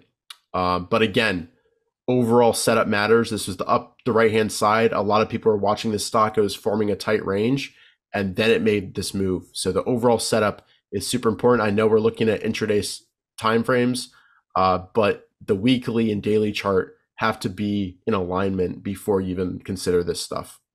Uh, Rai, anything to add on this? No, I think it's a good exercise. We should do more of these examples. So yep. Keep yep. going. And John says below anchor VWAP as well, 100%. That would be that would be very valid. A lot of institutions will will purchase, and you can see this trended all day above that. Um, so that could be your trailing stop on on intraday time frame. All right. So getting into uh, trading a pullback to support, and this could be a you know support can be a key level such as a base pivot. It could be the first test of the 50 day moving average. It could be the first test of the 21 uh, day moving average, 21 EMA, whatever it is. You're pulling back to a key level that a lot of market participants are watching. Um, and ideally, this pullback is constructive. It's it the it's a drift lower versus a sharp drop. Um, you're seeing decline in volume overall, as Rai mentioned on the Uber example. Um, and you've got the the key points here. Um, when a stock retests a key level and responds positively, we want to see that positive response. Um, this can be a key moving average. Uh, you've got a few other examples of key levels. A confluence, again, with this confluence is really important.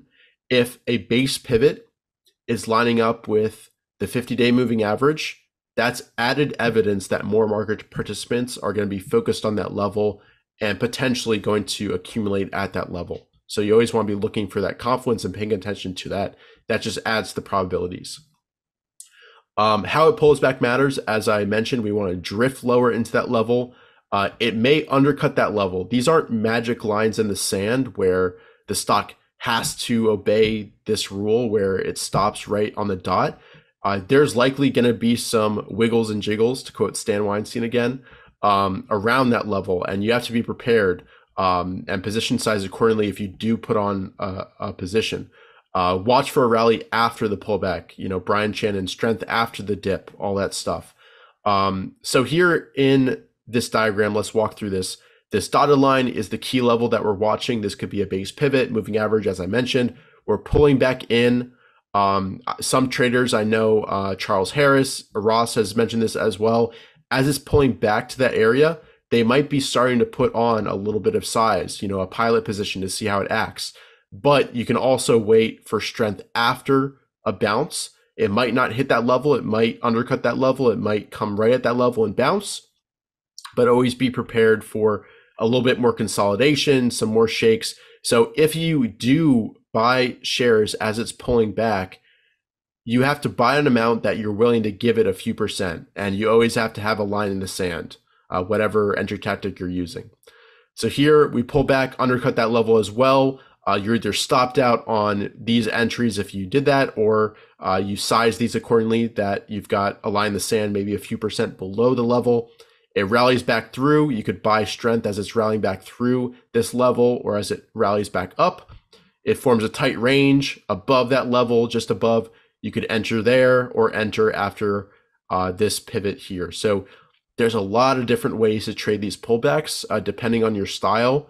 Um, these are just a few ways, but the key thing is, you know, be open minded for more shakeouts below that level position size accordingly and and don't feel the need to go all in at once and then you get stopped out and then you know you get disappointed you you had a loss and and you take it off your screen and then it tightens up again versus that level and then rallies 5% and, and closes with a hammer candle right after testing the 50 days. So um Rai, anything to add on this? Because i think this is uh, a really important slide for for people to to focus on Yes, in, in terms of, you know, examples of this, uh, the first pullback to 21 and 50 is what I, I, I like a lot because uh, those seem to be levels that are respected.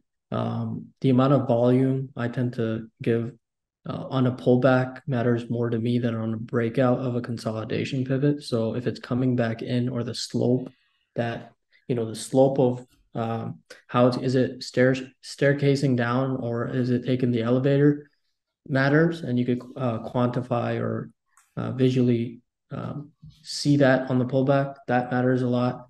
Um, how how it you know what the name is? Is it an NVIDIA versus a SMCI? Right, NVIDIA I would give a lot more of my money to than a secondary leader in that space tends to matter a lot more. Um, there's all these very little, you know, things that add up to how you can approach a particular name um, as well. So, it, it, regardless of the market that you're trading, right? If uh, if you're in India and uh, names that make you know a, a you know cement or something uh, are are big leaders in India uh, at the moment or something in the construction space, right? Because they're building rapidly uh, then that matters as well. Or if you're in the Canadian markets and at, at some point in time in the Canadian markets, the cannabis names were the top ones. And you would you need to be in the right group for you to stack your probabilities. And when we get into position sizing, probably not today, but uh, in you know future webinars, that matters uh, a lot more. So I, I everything that you that you said there applies. Um, I think when we talk real names, it will be much easier to for people to kind of get into. Yeah, absolutely. Yeah. And and here on the next slide, I kind of highlight you know the stops here.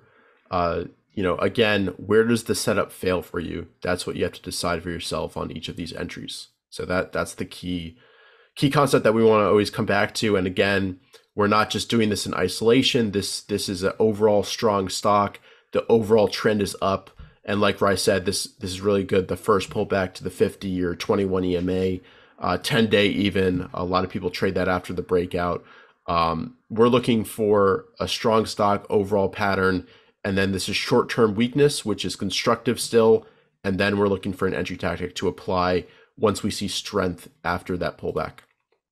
Uh, so here's an example with Uber to kind of cement things. This is um, a daily chart. This is prior in the year. We've got a base that forms super powerful up the right hand side, straight um, up from the bottom.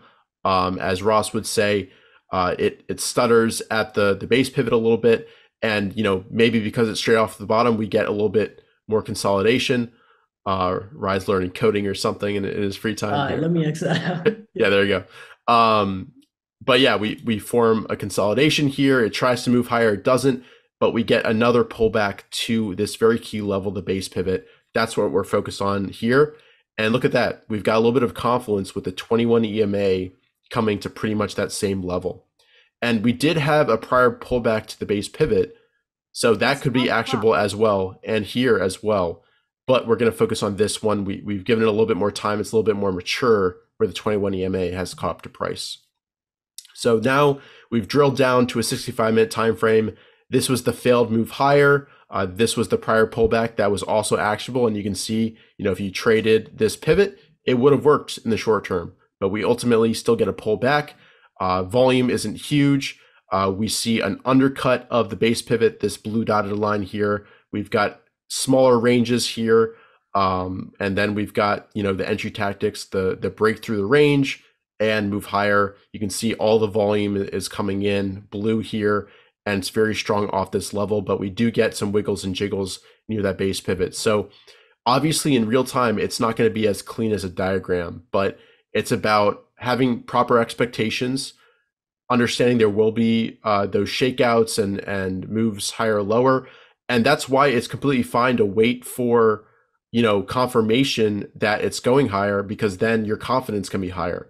But people who want to manage risk tighter and, and try it more times will will trade down in here versus if you want to you know really position once, you might wait for this breakout through the clear level, which on a lower time frame is a stage to break out uh, from stage analysis. So that's it for the 65 minute time frame. Here's the 15 minute time frame. Again, we've got the clear level here and the breakout through that, and we push higher from that point. But you can see how it's found support at this base pivot, and even going back. Um, right, can you go back one slide for me? yeah You see demand come in at this base pivot, and then we see demand come in here. You're learning the nature of the stock, and then that's when you drill down when the patterns mature the entry tactic is ripe and you, you either trade you know lower pivots you're accumulating versus that level or you're buying through that pivot and uh, that's how you position the name to see if that pullback will work um, and ultimately it does and and i think we'll we'll go through some live examples now and maybe we can start with uber to uh, drill down on that example a little bit more yeah let's uh let's get into this yeah, and while we're doing that, um, leave in the chat. Uh, what's been your feedback on today's session so far? Have you enjoyed it? Uh, what's been um, any key takeaways that you've learned? Uh, can we start? Yeah, can we start with Uber uh, so far? So yes, drilling back down. Let, us scroll back a little bit. Uh, show that base that was forming right here. So here's the high. Here's one pullback. Here's the pullback that we talked about. Um, and from that point on, we rally strongly and then Rai, I know you were trading this back in here where it had some more pullback setups, but yeah. it was really nice confluence between the base pivot as well as the the kind of intermediate term moving average. Um, and this one ultimately worked. Again, you might have to try it a few times.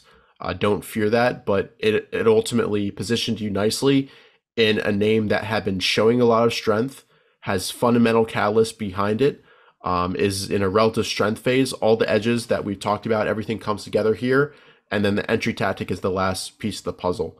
Um, so yeah, that's that's let's, most of. Uh, yeah, go ahead. Yeah, let's let's let's drill down a little bit into. Uh, Here, I'll give back your screen. You can control from this point.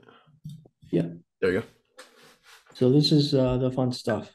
So we have uh, this. Oh, we're not done, guys. I see some people saying. Uh, yeah, we're not done. We're not. We're not done. We're, we're about to go through a bunch of live examples to bring everything home so this is this is where the application comes into to play so yeah because uh, real life about, real life is different than diagrams uh, yeah so but the concepts are what's what's important so we have this earnings gap up that we see right? Let me make this a little bit thicker.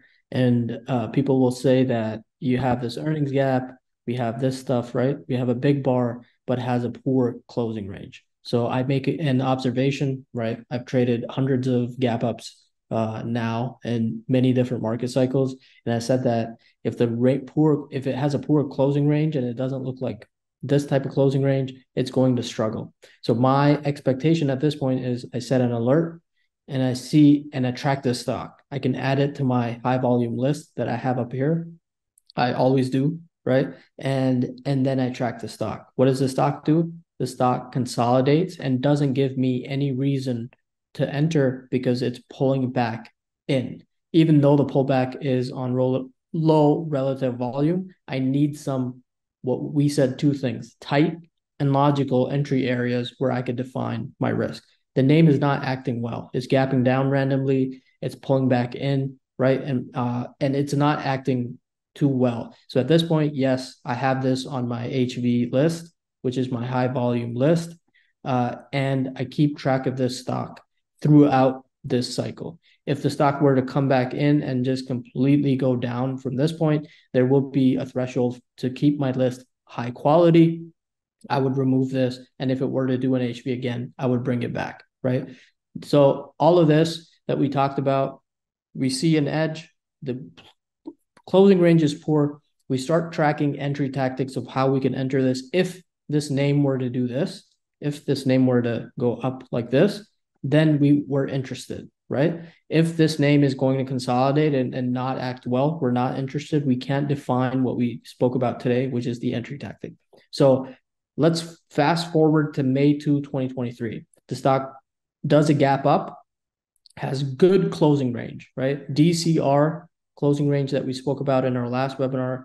And sorry about the the drawing. I don't have my tab uh, pen here, but the DCR is good and the name is acted well. And this is the highest volume that it's seen since last earnings. So what do we qualify this as? Is HVLE, right? Highest volume since last earnings. That's the edge uh, that I am going to employ here. So this is my edge on this name. Good closing range, highest volume since last earnings. That's my step one for anything that you do. Doesn't matter. You don't want to use HVs, don't use them It has to be some sort of primary edge for you to get see a stock and start main, you know tracking it for for entry. The next thing that we talk, spoke about is we have this HVC, which is the highest volume close. We could have volume support, right, on this name, uh, and we can have whole number uh, levels, which in this case was also 35, which I would be interested in. I have these three ways of entering this name, or the the other one is our consolidation pivot right? So there are four ways after I visualize my edge. I visualize my edge on the charts. I see a good closing range. I have four different ways I can enter this name, right? What am I doing? Why do I have four different ways? Why do I have five different ways? Because I know that the probability of this name moving to the upside is very, very high. And I want to find different ways to enter this name to have an opportunity to be a part of this 50, 55% run in a matter of three to six months right? So that's kind of what we're doing um, over here. So entry tactic wise, Richard, what what Richard spoke about is right here. It aligns with this prior base pivot. So confluence of levels is one way that you can master how you can enter a name. That's one way. Confluence of levels. The second way that you can master this is that this, you know, you look at the market here. The market was turning around. There were many, many, many PLTR was in HV at the same time there, there were four to five different names where risk appetite in the market was high, and you could use HVC even if you got a 20% position, 25% position, uh, doesn't matter relative to your whatever your full size is, you would have made something. So next, I will go and clear all these drawings because it's getting messy. Uh, Richard, if you want to do that as well. I really want to focus in on if I didn't get here, a lot of people tend to complain right? I visualize my edge. I didn't enter over here. You missed it. Let's just say you missed it, right? That's not an excuse for you to stop tracking a name.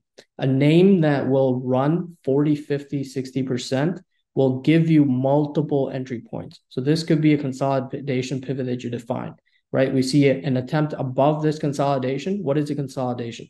A pullback, a pullback on volume right? And you expect the price to go back up at some point in time. It doesn't have to be at this point. It does it could be somewhere over here, it could be somewhere over here, but you've defined this consolidation.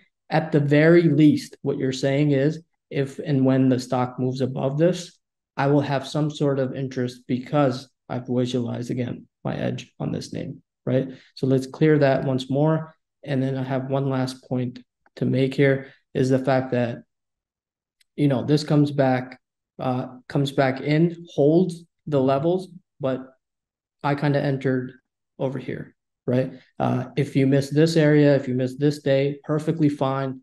Entered here you still get a good run out of this name. Now let's cover the pullback a little bit. So the pullback what what is a pullback?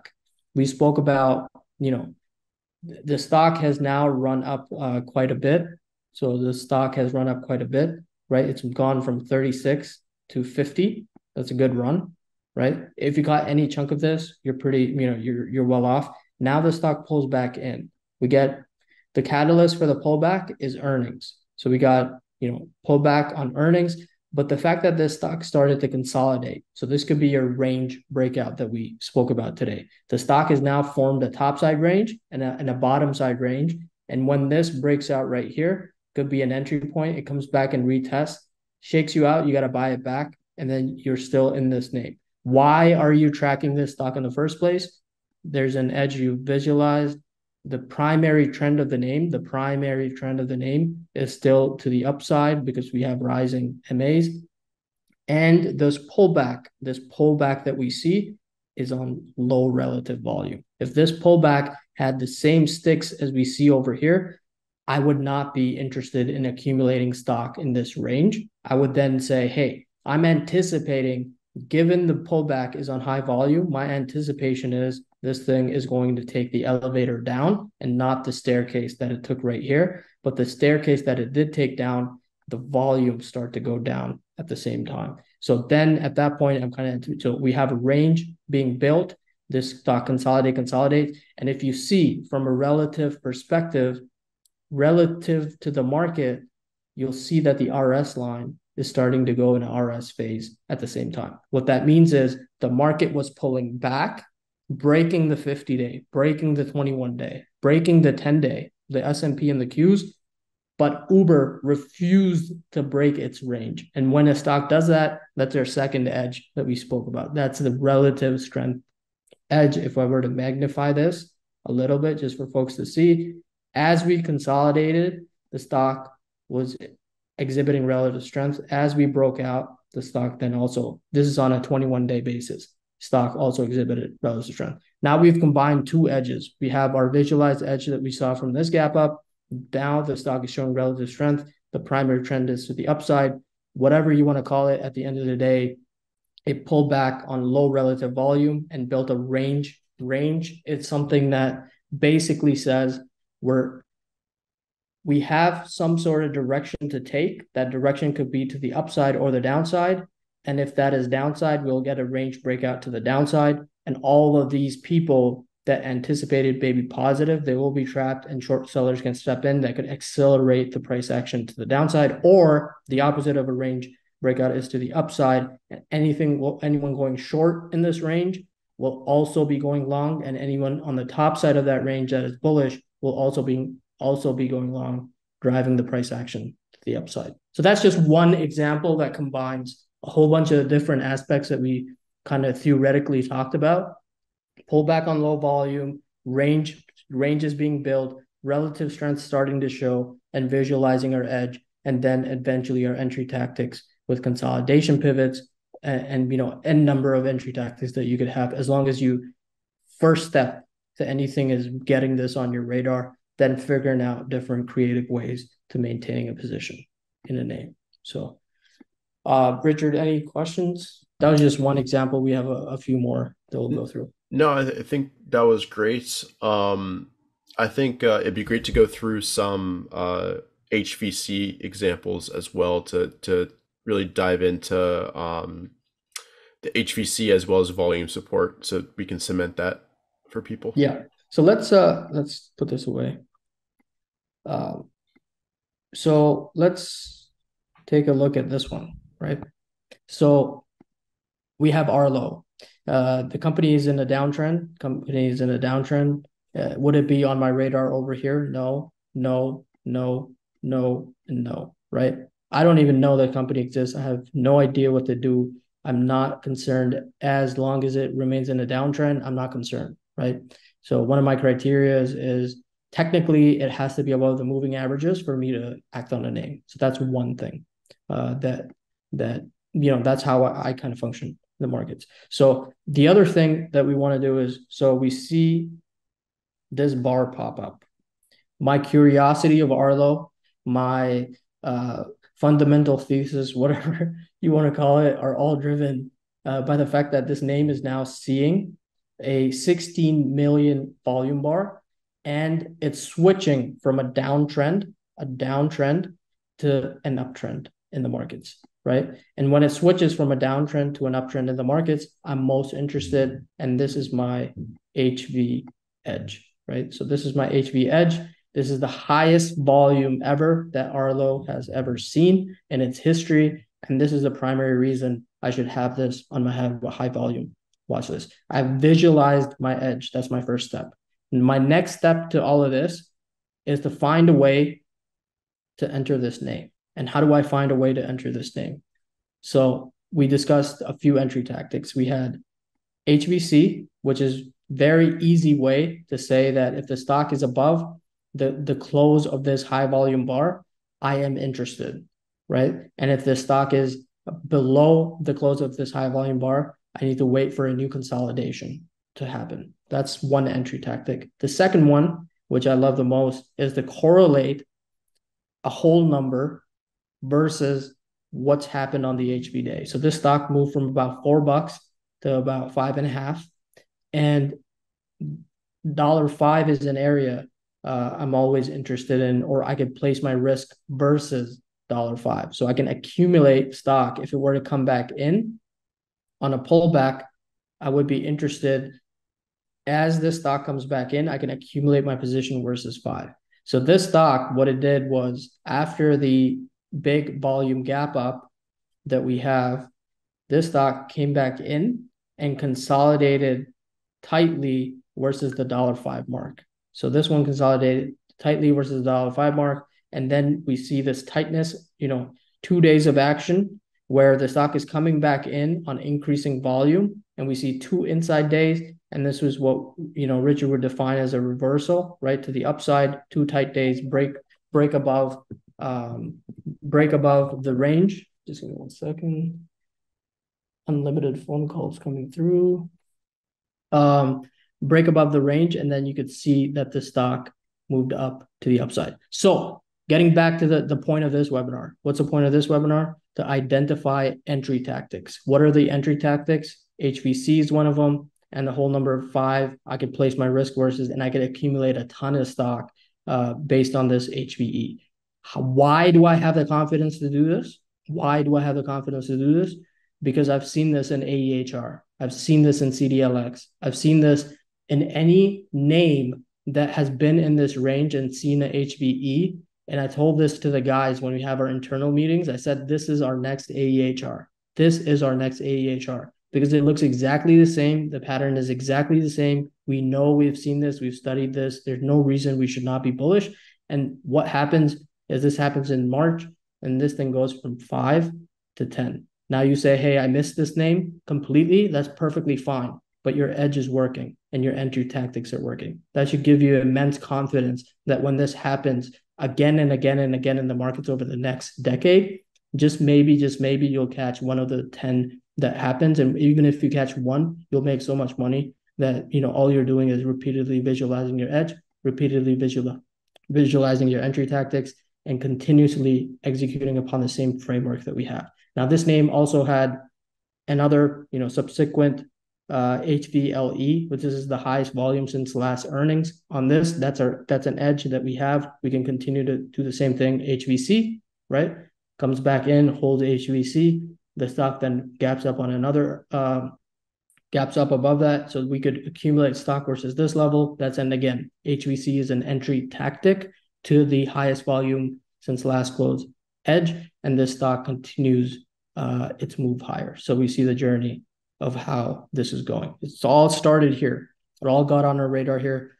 We employ our entry tactics, and this could be one of the names. It doesn't have to. You don't have to trade Arlo. There's so many names that do the same thing, but this one moved from five to about ten bucks, which is basically a double. Right. So that's another. I've got a question. Um, after the HVE or the high volume edge, um, do you have a kind of ideal range for the consolidation uh, period? So this one is about you know two weeks long, pretty much. Is there you know an ideal range that you found works really well? So if if when we say consolidation, this is consolidation, right? This for me, this is a consolidation pivot, right? A consolidation entry tactic over here that happens. And this is the HVC entry tactic. And this is the whole number entry tactic. So I've cornered, I can enter n number of ways. Or we could do this, you know, two two inside days in a row, reversal to the upside that you spoke about as well. So it the the number of days for consolidation could be for me i would say three to five days would be a good time frame for the daily. And on the 65 minute that's a lot of bars that you could look at as it consolidates right? You could draw the same thing on the 65 minute it would, it would be your whole chart. Uh, but yeah three to five day minimum. Uh, if it's like if it goes up let's just visualize this. So if it goes up right and i have a high and it has two really close inside days. FSLY did this, two really close inside days, and it just goes. I'm still buying that, even though I said three to five just now. I just kind of, you know, I'm contradicting myself because uh, the a stock comes to mind where I completely missed FSLY. So, so it depends. Like it's the situation that you're in. You never want to say never. I am going to only buy three to five days, and then now you're sitting there with a breakout had perfectly pulled back in, right? Dry up in volume and it goes through that volume. There's no reason to just sit there and, you know, be stubborn about it. You could put on a position, maybe a smaller one. If you say, hey, I'm, I'm waiting for a three, five, three to five day consolidation, I'm going to put on a smaller position here. And then this thing rips, at least you have some, some skin in the game at that point. So three to five days is ideal depending on the HV type of consolidations. Uh, usually you'll see maybe a day or two like this and then you'll see a rip right through or the the poor closing range ones will see more of a pullback come back in maybe undercut the volume support and then they will build a consolidation plus a hvc on the top side. So there are many different situations that happen but the idea is if you just start visualizing these you'll see different ways and your mind will take over and you'll be very creative as to how you want to approach these. Um, maybe you employ none of these uh, that we discussed today and you come up with your own way. And that's perfectly fine as long as there's potential for these to double, right? That's all that really matters. Yeah, I know you've been tra- you traded uh, SPLK recently from uh, a high volume yeah. day. Do you want to walk through that trade and kind of your entry point and thought process throughout that? So SPL this one, yeah. So I, I this one was uh, funny because Ross was adamant and then I was stubborn, but uh, it's funny. So this one. So let's let's discuss this. So from a psychology perspective, I think it's a good lesson. So if you look at the broader pattern that Richard talked about, right? The broader pattern is going to dictate some of this stuff. So what is the broader pattern here? Uh, if you guys want to put that in the chat, the broader pattern is this thing's not going anywhere for a very long time, right? We have a base that started in August 2022 it's it's done absolutely nothing in a market, you know, that is pretty bad, was pretty bad in 2022 and early 2023. And this is just consolidated. So we have a bigger base that's being built.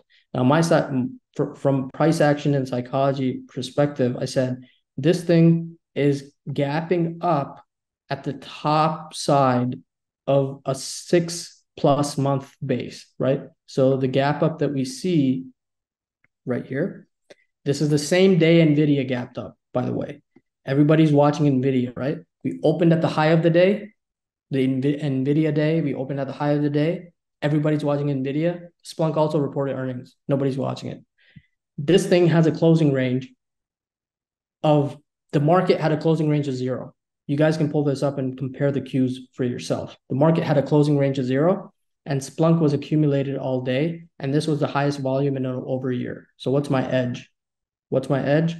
HV1. That's my edge, right? This is the highest volume ever or uh, in one year on Splunk. The second is the DCR is above the above the market. The daily closing range on this name is above the closing range on the market where the whole world was just watching Nvidia. Nobody really, you know, cared about anything. The third thing that I see is that it's gapping up at the top of a six month range. And I said that, you know, I was pretty convinced on this day. I said, there's if this name is going to maintain this character, if this name is going to maintain this character of pulling back in quickly, pulling back in quickly, rash, you know, gap up and gap down on this earnings. It should have done this on it should have done that on this day. I have two edges at play now. I have the HV1, which is the highest volume in a year, and I have relative strength. Those are the two edges that we spoke about in our last webinar. Those two aligned right here combined with the fact that it's gapping up at the top of its six month base, I said anybody that's short is trapped. Anybody that looks at relative strength is bullish. Anybody that looks at the HV edge is bullish. Three forces are aligning as to what I see winners exhibit in the markets again and again.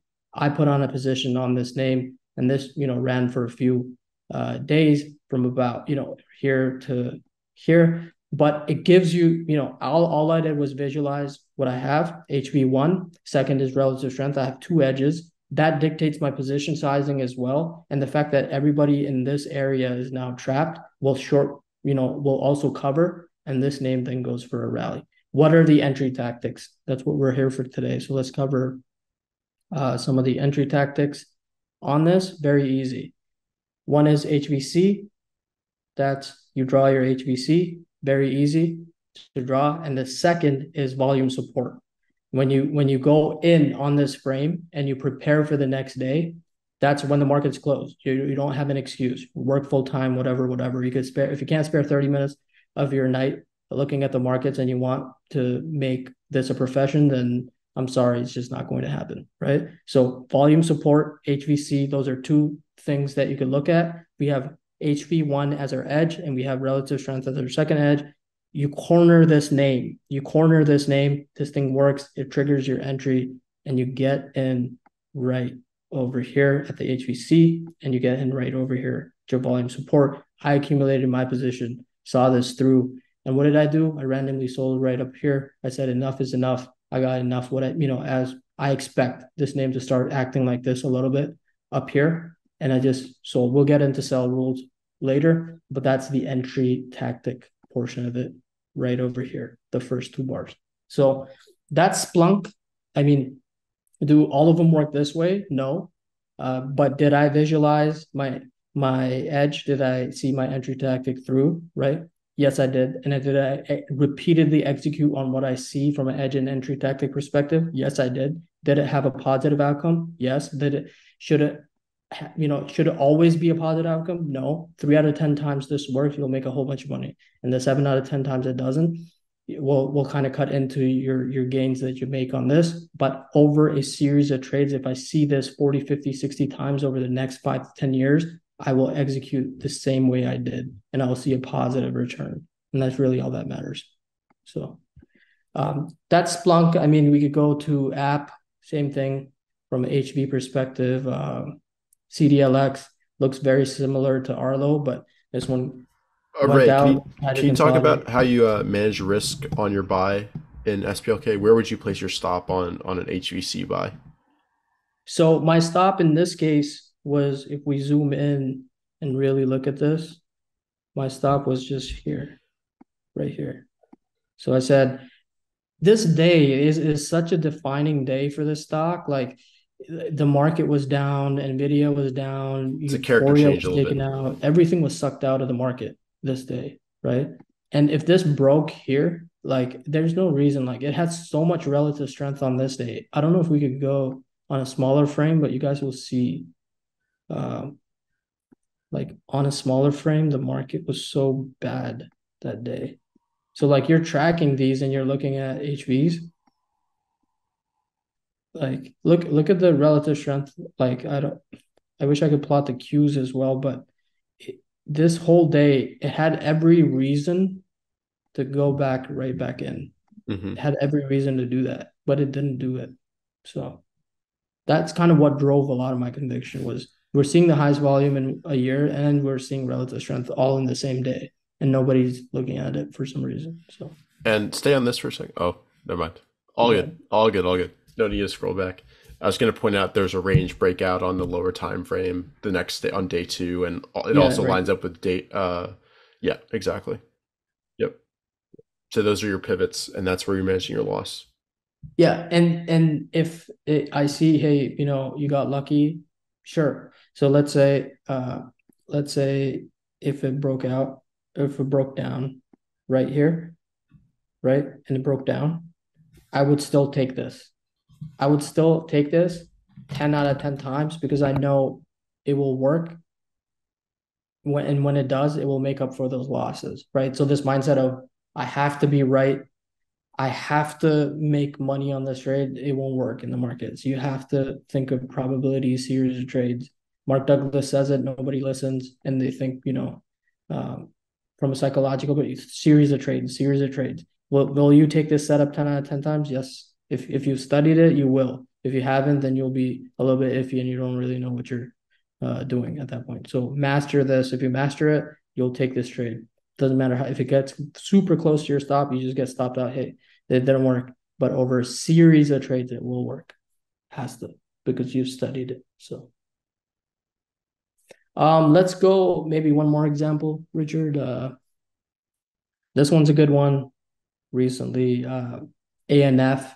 So there's this, you know, as you get more experience, you your brain is kind of filled with more garbage. Uh, like it's Abercrombie and Fitch. What can they do, right? Um, so and and and the way it works is this thing go, this thing goes from 30 to, to 53 and nobody expects a if i followed my edge here i would be far better off than actually knowing what the company does that's just one you know situation uh, but this thing how does it start visualize it that's your edge what's your entry tactic hvc volume support you corner this name however if it's going to do this you'll find a way and if you keep that simple, you have your edge, you have your entry tactic, and you define it. This one comes out. And you know, if you just take this area right here, the market was pretty good. The market was good since May, by the way. So the market was good. There's no excuse to look at the market at this point. It's more a technical setup. And you define your entry tactics that we discussed, volume support, uh, HVC, and then this thing goes from 20 to, to 53. Did I catch any of it? No uh, because again, a lot of garbage fills up in your head where you think you're smart. And uh, what can a clothing company that has done absolutely nothing for a very long time do? Well, I get double in the span of a couple of months. So uh, that's what a- ANF did. Again, what I'm trying to emphasize here is you have edge, entry tactic, edge, entry tactic, edge, entry tactic, right?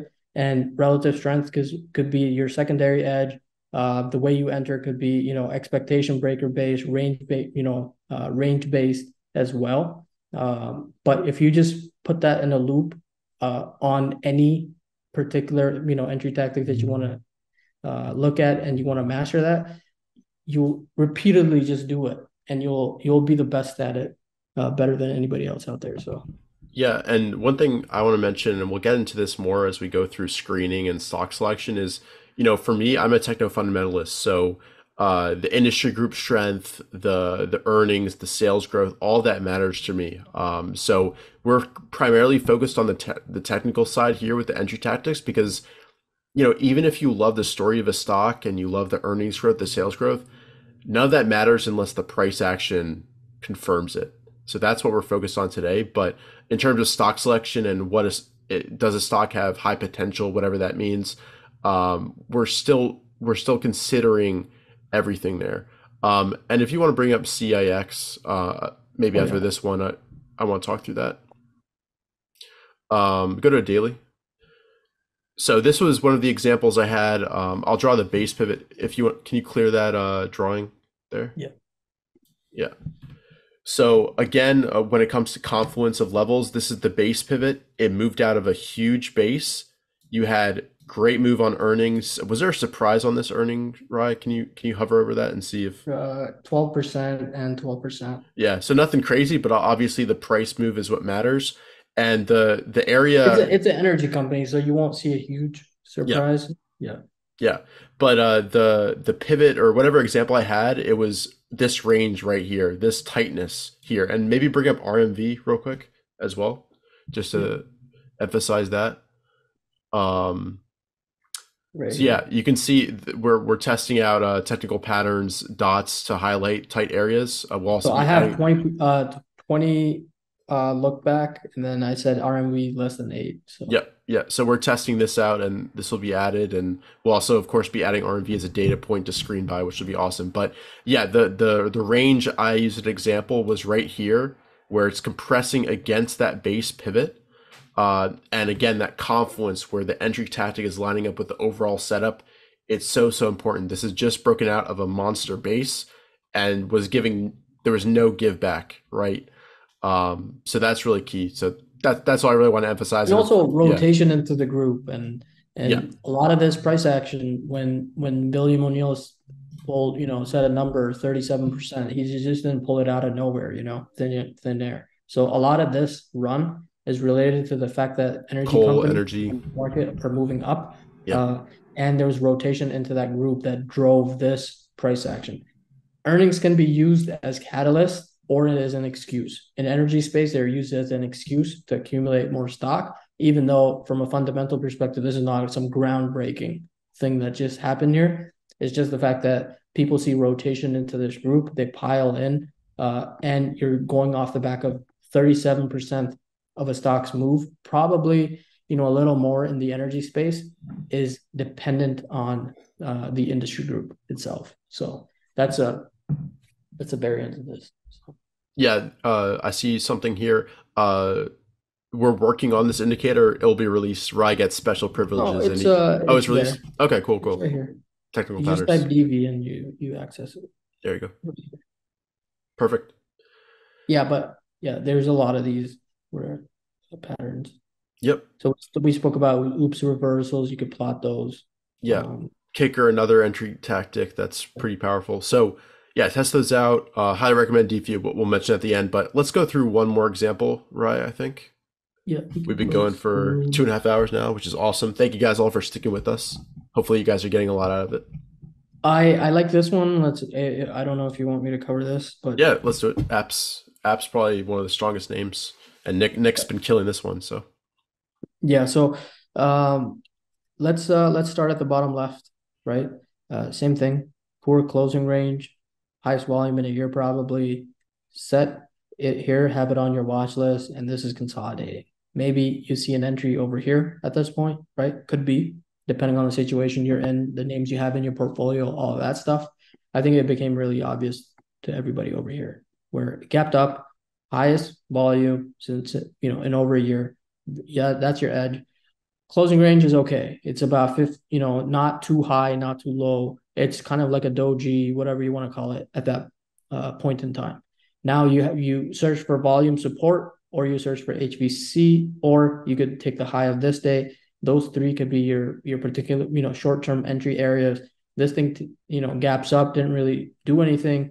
Even if let's say you're you're long here, right? Let's draw a loss. Let's talk about losses. So that's important.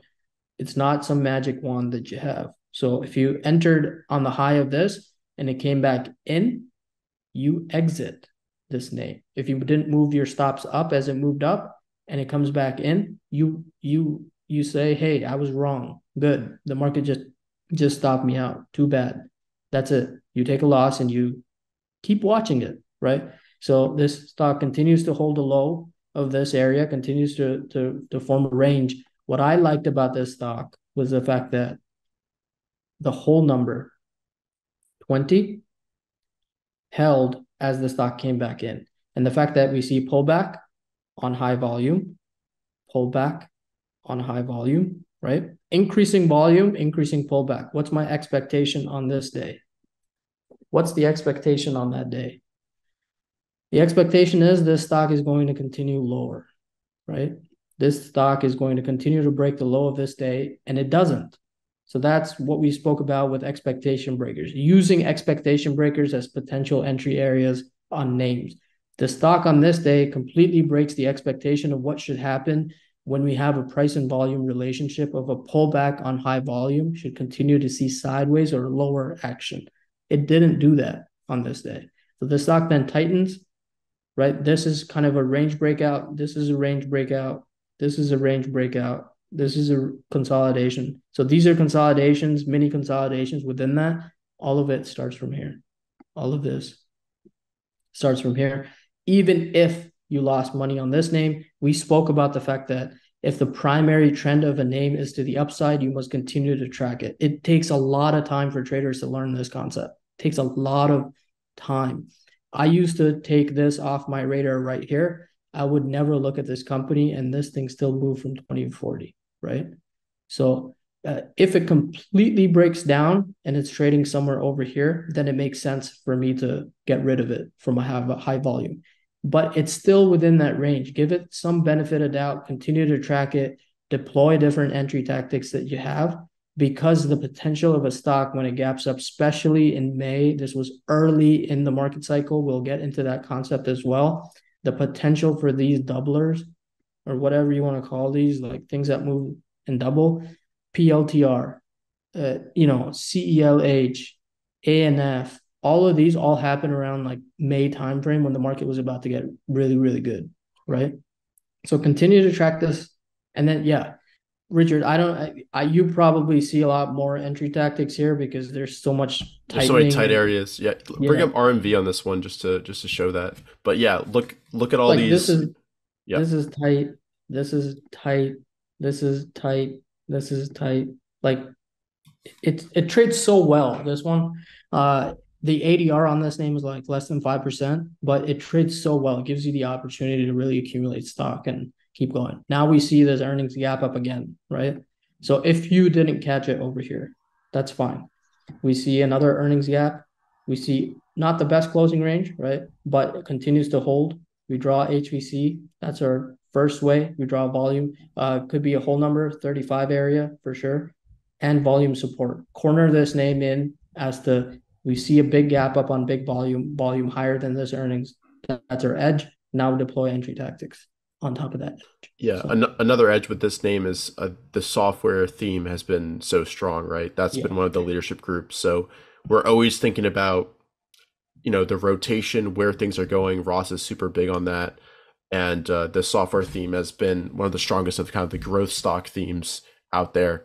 Uh, and I don't know, I don't know about the earnings and sales on this one, but uh, for me, price action, yeah, price action always overlay, yeah. So you know, huge earnings growth um, and great estimates as well. I love in DV you can see the the estimates super clearly, um, and we can see that color bar highlights acceleration in the revenue. If you, if you scroll to the right on the stats table, you can see that color bar under underneath here. I'll actually point it out. That shows that there's acceleration expected in those estimates. So, yeah, yeah, this this one trades uh, more on sales, so we see 738, 767, 787. That's three consecutive quarters of increasing sales, and then the same thing. So expected growth from a revenue perspective on this name is high. Now you combine that with this HV edge, plus now we see relative strength. The market is below the 50 day. The QQQ is below the you know right at its 50 day. APP is above it's 21 day. So relative strength also exists. Now you're compounding your number, you know, now you're accumulating the number of edges that you see on a name. And this is built a consolidation pivot. We have a, I should probably, start. should go like that just to zoom in. So let's just take a look at this and act like nothing else exists. So if we take a look at that, we see this is our new consolidation pivot. Wow, didn't grew that horribly. This line is our new consolidation pivot, right? Pull back into the 21 day. This is the first time the stock has pulled back into the 21. First time since this earning gap. So this is your 21 day. Never tested, never tested, never tested, never tested, tested, pull back. Now it's trying to hold the 21 day. So one entry tactic could be the first pullback to 21. I love playing those. Uh, but it also depends on the market, right? So I didn't get into this, but now you have a consolidation pivot defined. And if this were to go up and through as the market finds its footing, then you can enter this name to see if it continues higher, right?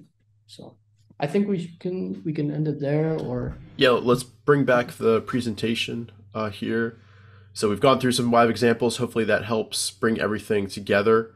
Uh, and uh, yeah, here's a quick kind of key questions to think about um, as you're preparing to make an entry. Um, this kind of brings together everything we talked about. Is the market and general context right for new buys? How aggressive should you be? Is the stock uh, exhibiting my edges? Which ones? You can list them out. Is the stock completing a larger pattern slash setup? Again, we've stressed how important that is to not treat the entry tactics in isolation. Can I currently use one of my entry tactics to enter? If not, there's no reason to enter. Uh, can I manage my risk tightly and logically? If not, it's not a proper entry tactic or an entry point. If I could only take one trade a month, would I take this one? That's important. Uh, could the stock realistically double from this point? Rai mentioned that, you know, looking for those edges. Uh, if it were the weekend, I was looking back on my actions. What I say buying here is a high probability play. So try to do hindsight backwards, if that makes sense, if that's possible. Uh, try to you know take take a step out of the moment for a second and try to look at as objectively as you can uh, at to, the price action. I, I used to at some point record myself, yeah, record my trade execution and just voice what I'm thinking, just to look back and just be like, what the hell was I thinking? Yeah, but uh, that's that's a good like really aggressive way for you to control or have some framework to your thought process. It's super hard because real time is so there's so many things happening and, and your mind just gets different thoughts but that's one way you could just record your execution right uh, could be audio could be a note could be whatever but then you look back at it and say you know uh, uh, what was i doing why, why was i saying saying that stuff but yeah Yep. That's one. And last one, this is kind of to ask yourself uh, where to place your stop loss. What price action would tell you that your entry tactic has failed? Where where are you wrong? Where will I cut cut your loss? Again, cutting your loss is the most important thing. That's what's going to ensure you don't blow up your account and stay in the game. So that's pretty much it. I think we can go to the next slide here. Um, yeah, so ha- download the yeah. Ultimate Trading Guide if you haven't. Uh, it's available. Link in chat. I don't know, Richard, if you'll paste it. Yeah, uh, give me one second. Spread word, post it, share it. You know, it's absolutely free. Uh, this whole webinar is also free um, as well. So uh, it's all you know. If you're on the list, you'll receive the recording. Uh, if you're on YouTube, you'll receive the recording. You can watch this as many times over. Uh, leave comments on the video if you're watching video from this, you know, if you're watching the recording, leave comments, questions in the uh, underneath. We we're happy to answer those um, as well. So the more people we get, we had more than our first two webinars um, here today. So the, you guys are doing a good job of spreading word and making sure that a lot of people can benefit from it. So yeah, and in the chat right now, I'm pasting a link to to help us spread word. Well, actually, first, yeah, if you want to try out Deepvue, highly recommend it. Um, I'll post a link to Deepvue uh, in the chat right here. Um, in my opinion, the absolute best tool for growth style trading. Um, and we're coming out with new features, you know, every week almost. So uh, you, you've seen a lot of examples. You've seen us use it in these webinars, uh, sh- shown what it can do with the indicators we're developing that complement uh, everything we're talking about. So um, definitely check it out.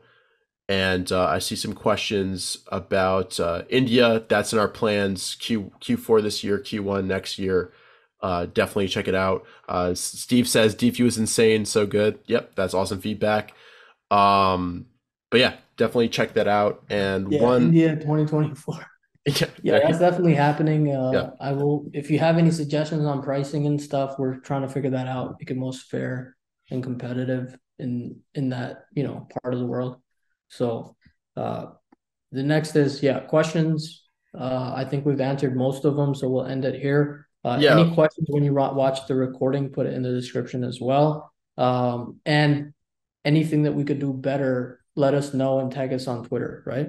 Uh, or X, so uh, so that we could improve on it. Again, this was more about diving into entry tactics, and the most important part is find an edge step one, step two, corner that name through entry tactics and find a way to enter that winner, but with tight and logical stops and tight and logical risk areas so that you could skew the risk reward in your favor and execute those two things edge, entry tactic, edge, entry. It doesn't matter if you didn't take away anything else, just take those two steps away. And you will see you could do that with VWAPs, pivots, Fibonacci's, RSI, MACD, uh, you know, clouds, etc. Doesn't matter. It will always work. Those two frameworks will work uh, yeah. for you. One hundred percent, and thank you guys all for sticking with us. There, there's still hundreds of you guys left here, which is amazing. Um, if you did find value in this, uh, we do have one small ask. Uh, help us spread the word, as Rai mentioned. And I'll be posting in the chat right now a tweet intent, which if you give that a click and then tweet it out, helps uh, share, you know, with with everybody the registration link for the next webinar. I saw some people asking for that for for that as well. So please go ahead and share that if you if you're able to. Uh, we'd really appreciate it, um, and we really hope sincerely that this has helped you uh, today uh, cement some learning. Um, once again, you have to go out and apply it for yourself, gain that experience. But if we can shorten your learning curve and help you along your journey, uh, that's super valuable in itself for us. And um, yeah, just want to thank you guys one more time for uh, spending a few hours of your Saturday with us, your valuable weekend. So uh, thank you so much. Rai. anything you want to close things off with? No, um, suggestions, etc. We'll, we'll always take a look. So send those, and uh, the next webinar will be uh, even better than this one. Yeah, I saw I saw one from John uh, that was uh, maybe something focused only on uh, traders who work full time. That could be an idea for a future webinar. Yeah. Yeah, yeah. I think that that's a huge uh, amount of people. So. Yeah, perfect. So once again, thank you guys all for tuning in. If you're watching on YouTube, the recording, leave a like down below, subscribe to the channel, and uh, we're really looking forward to the next few ones and hope you guys uh, tune in uh, to those as well. So thanks again, everybody, and uh, have a great rest of your Saturday. Cheers. Yeah. Have a good one.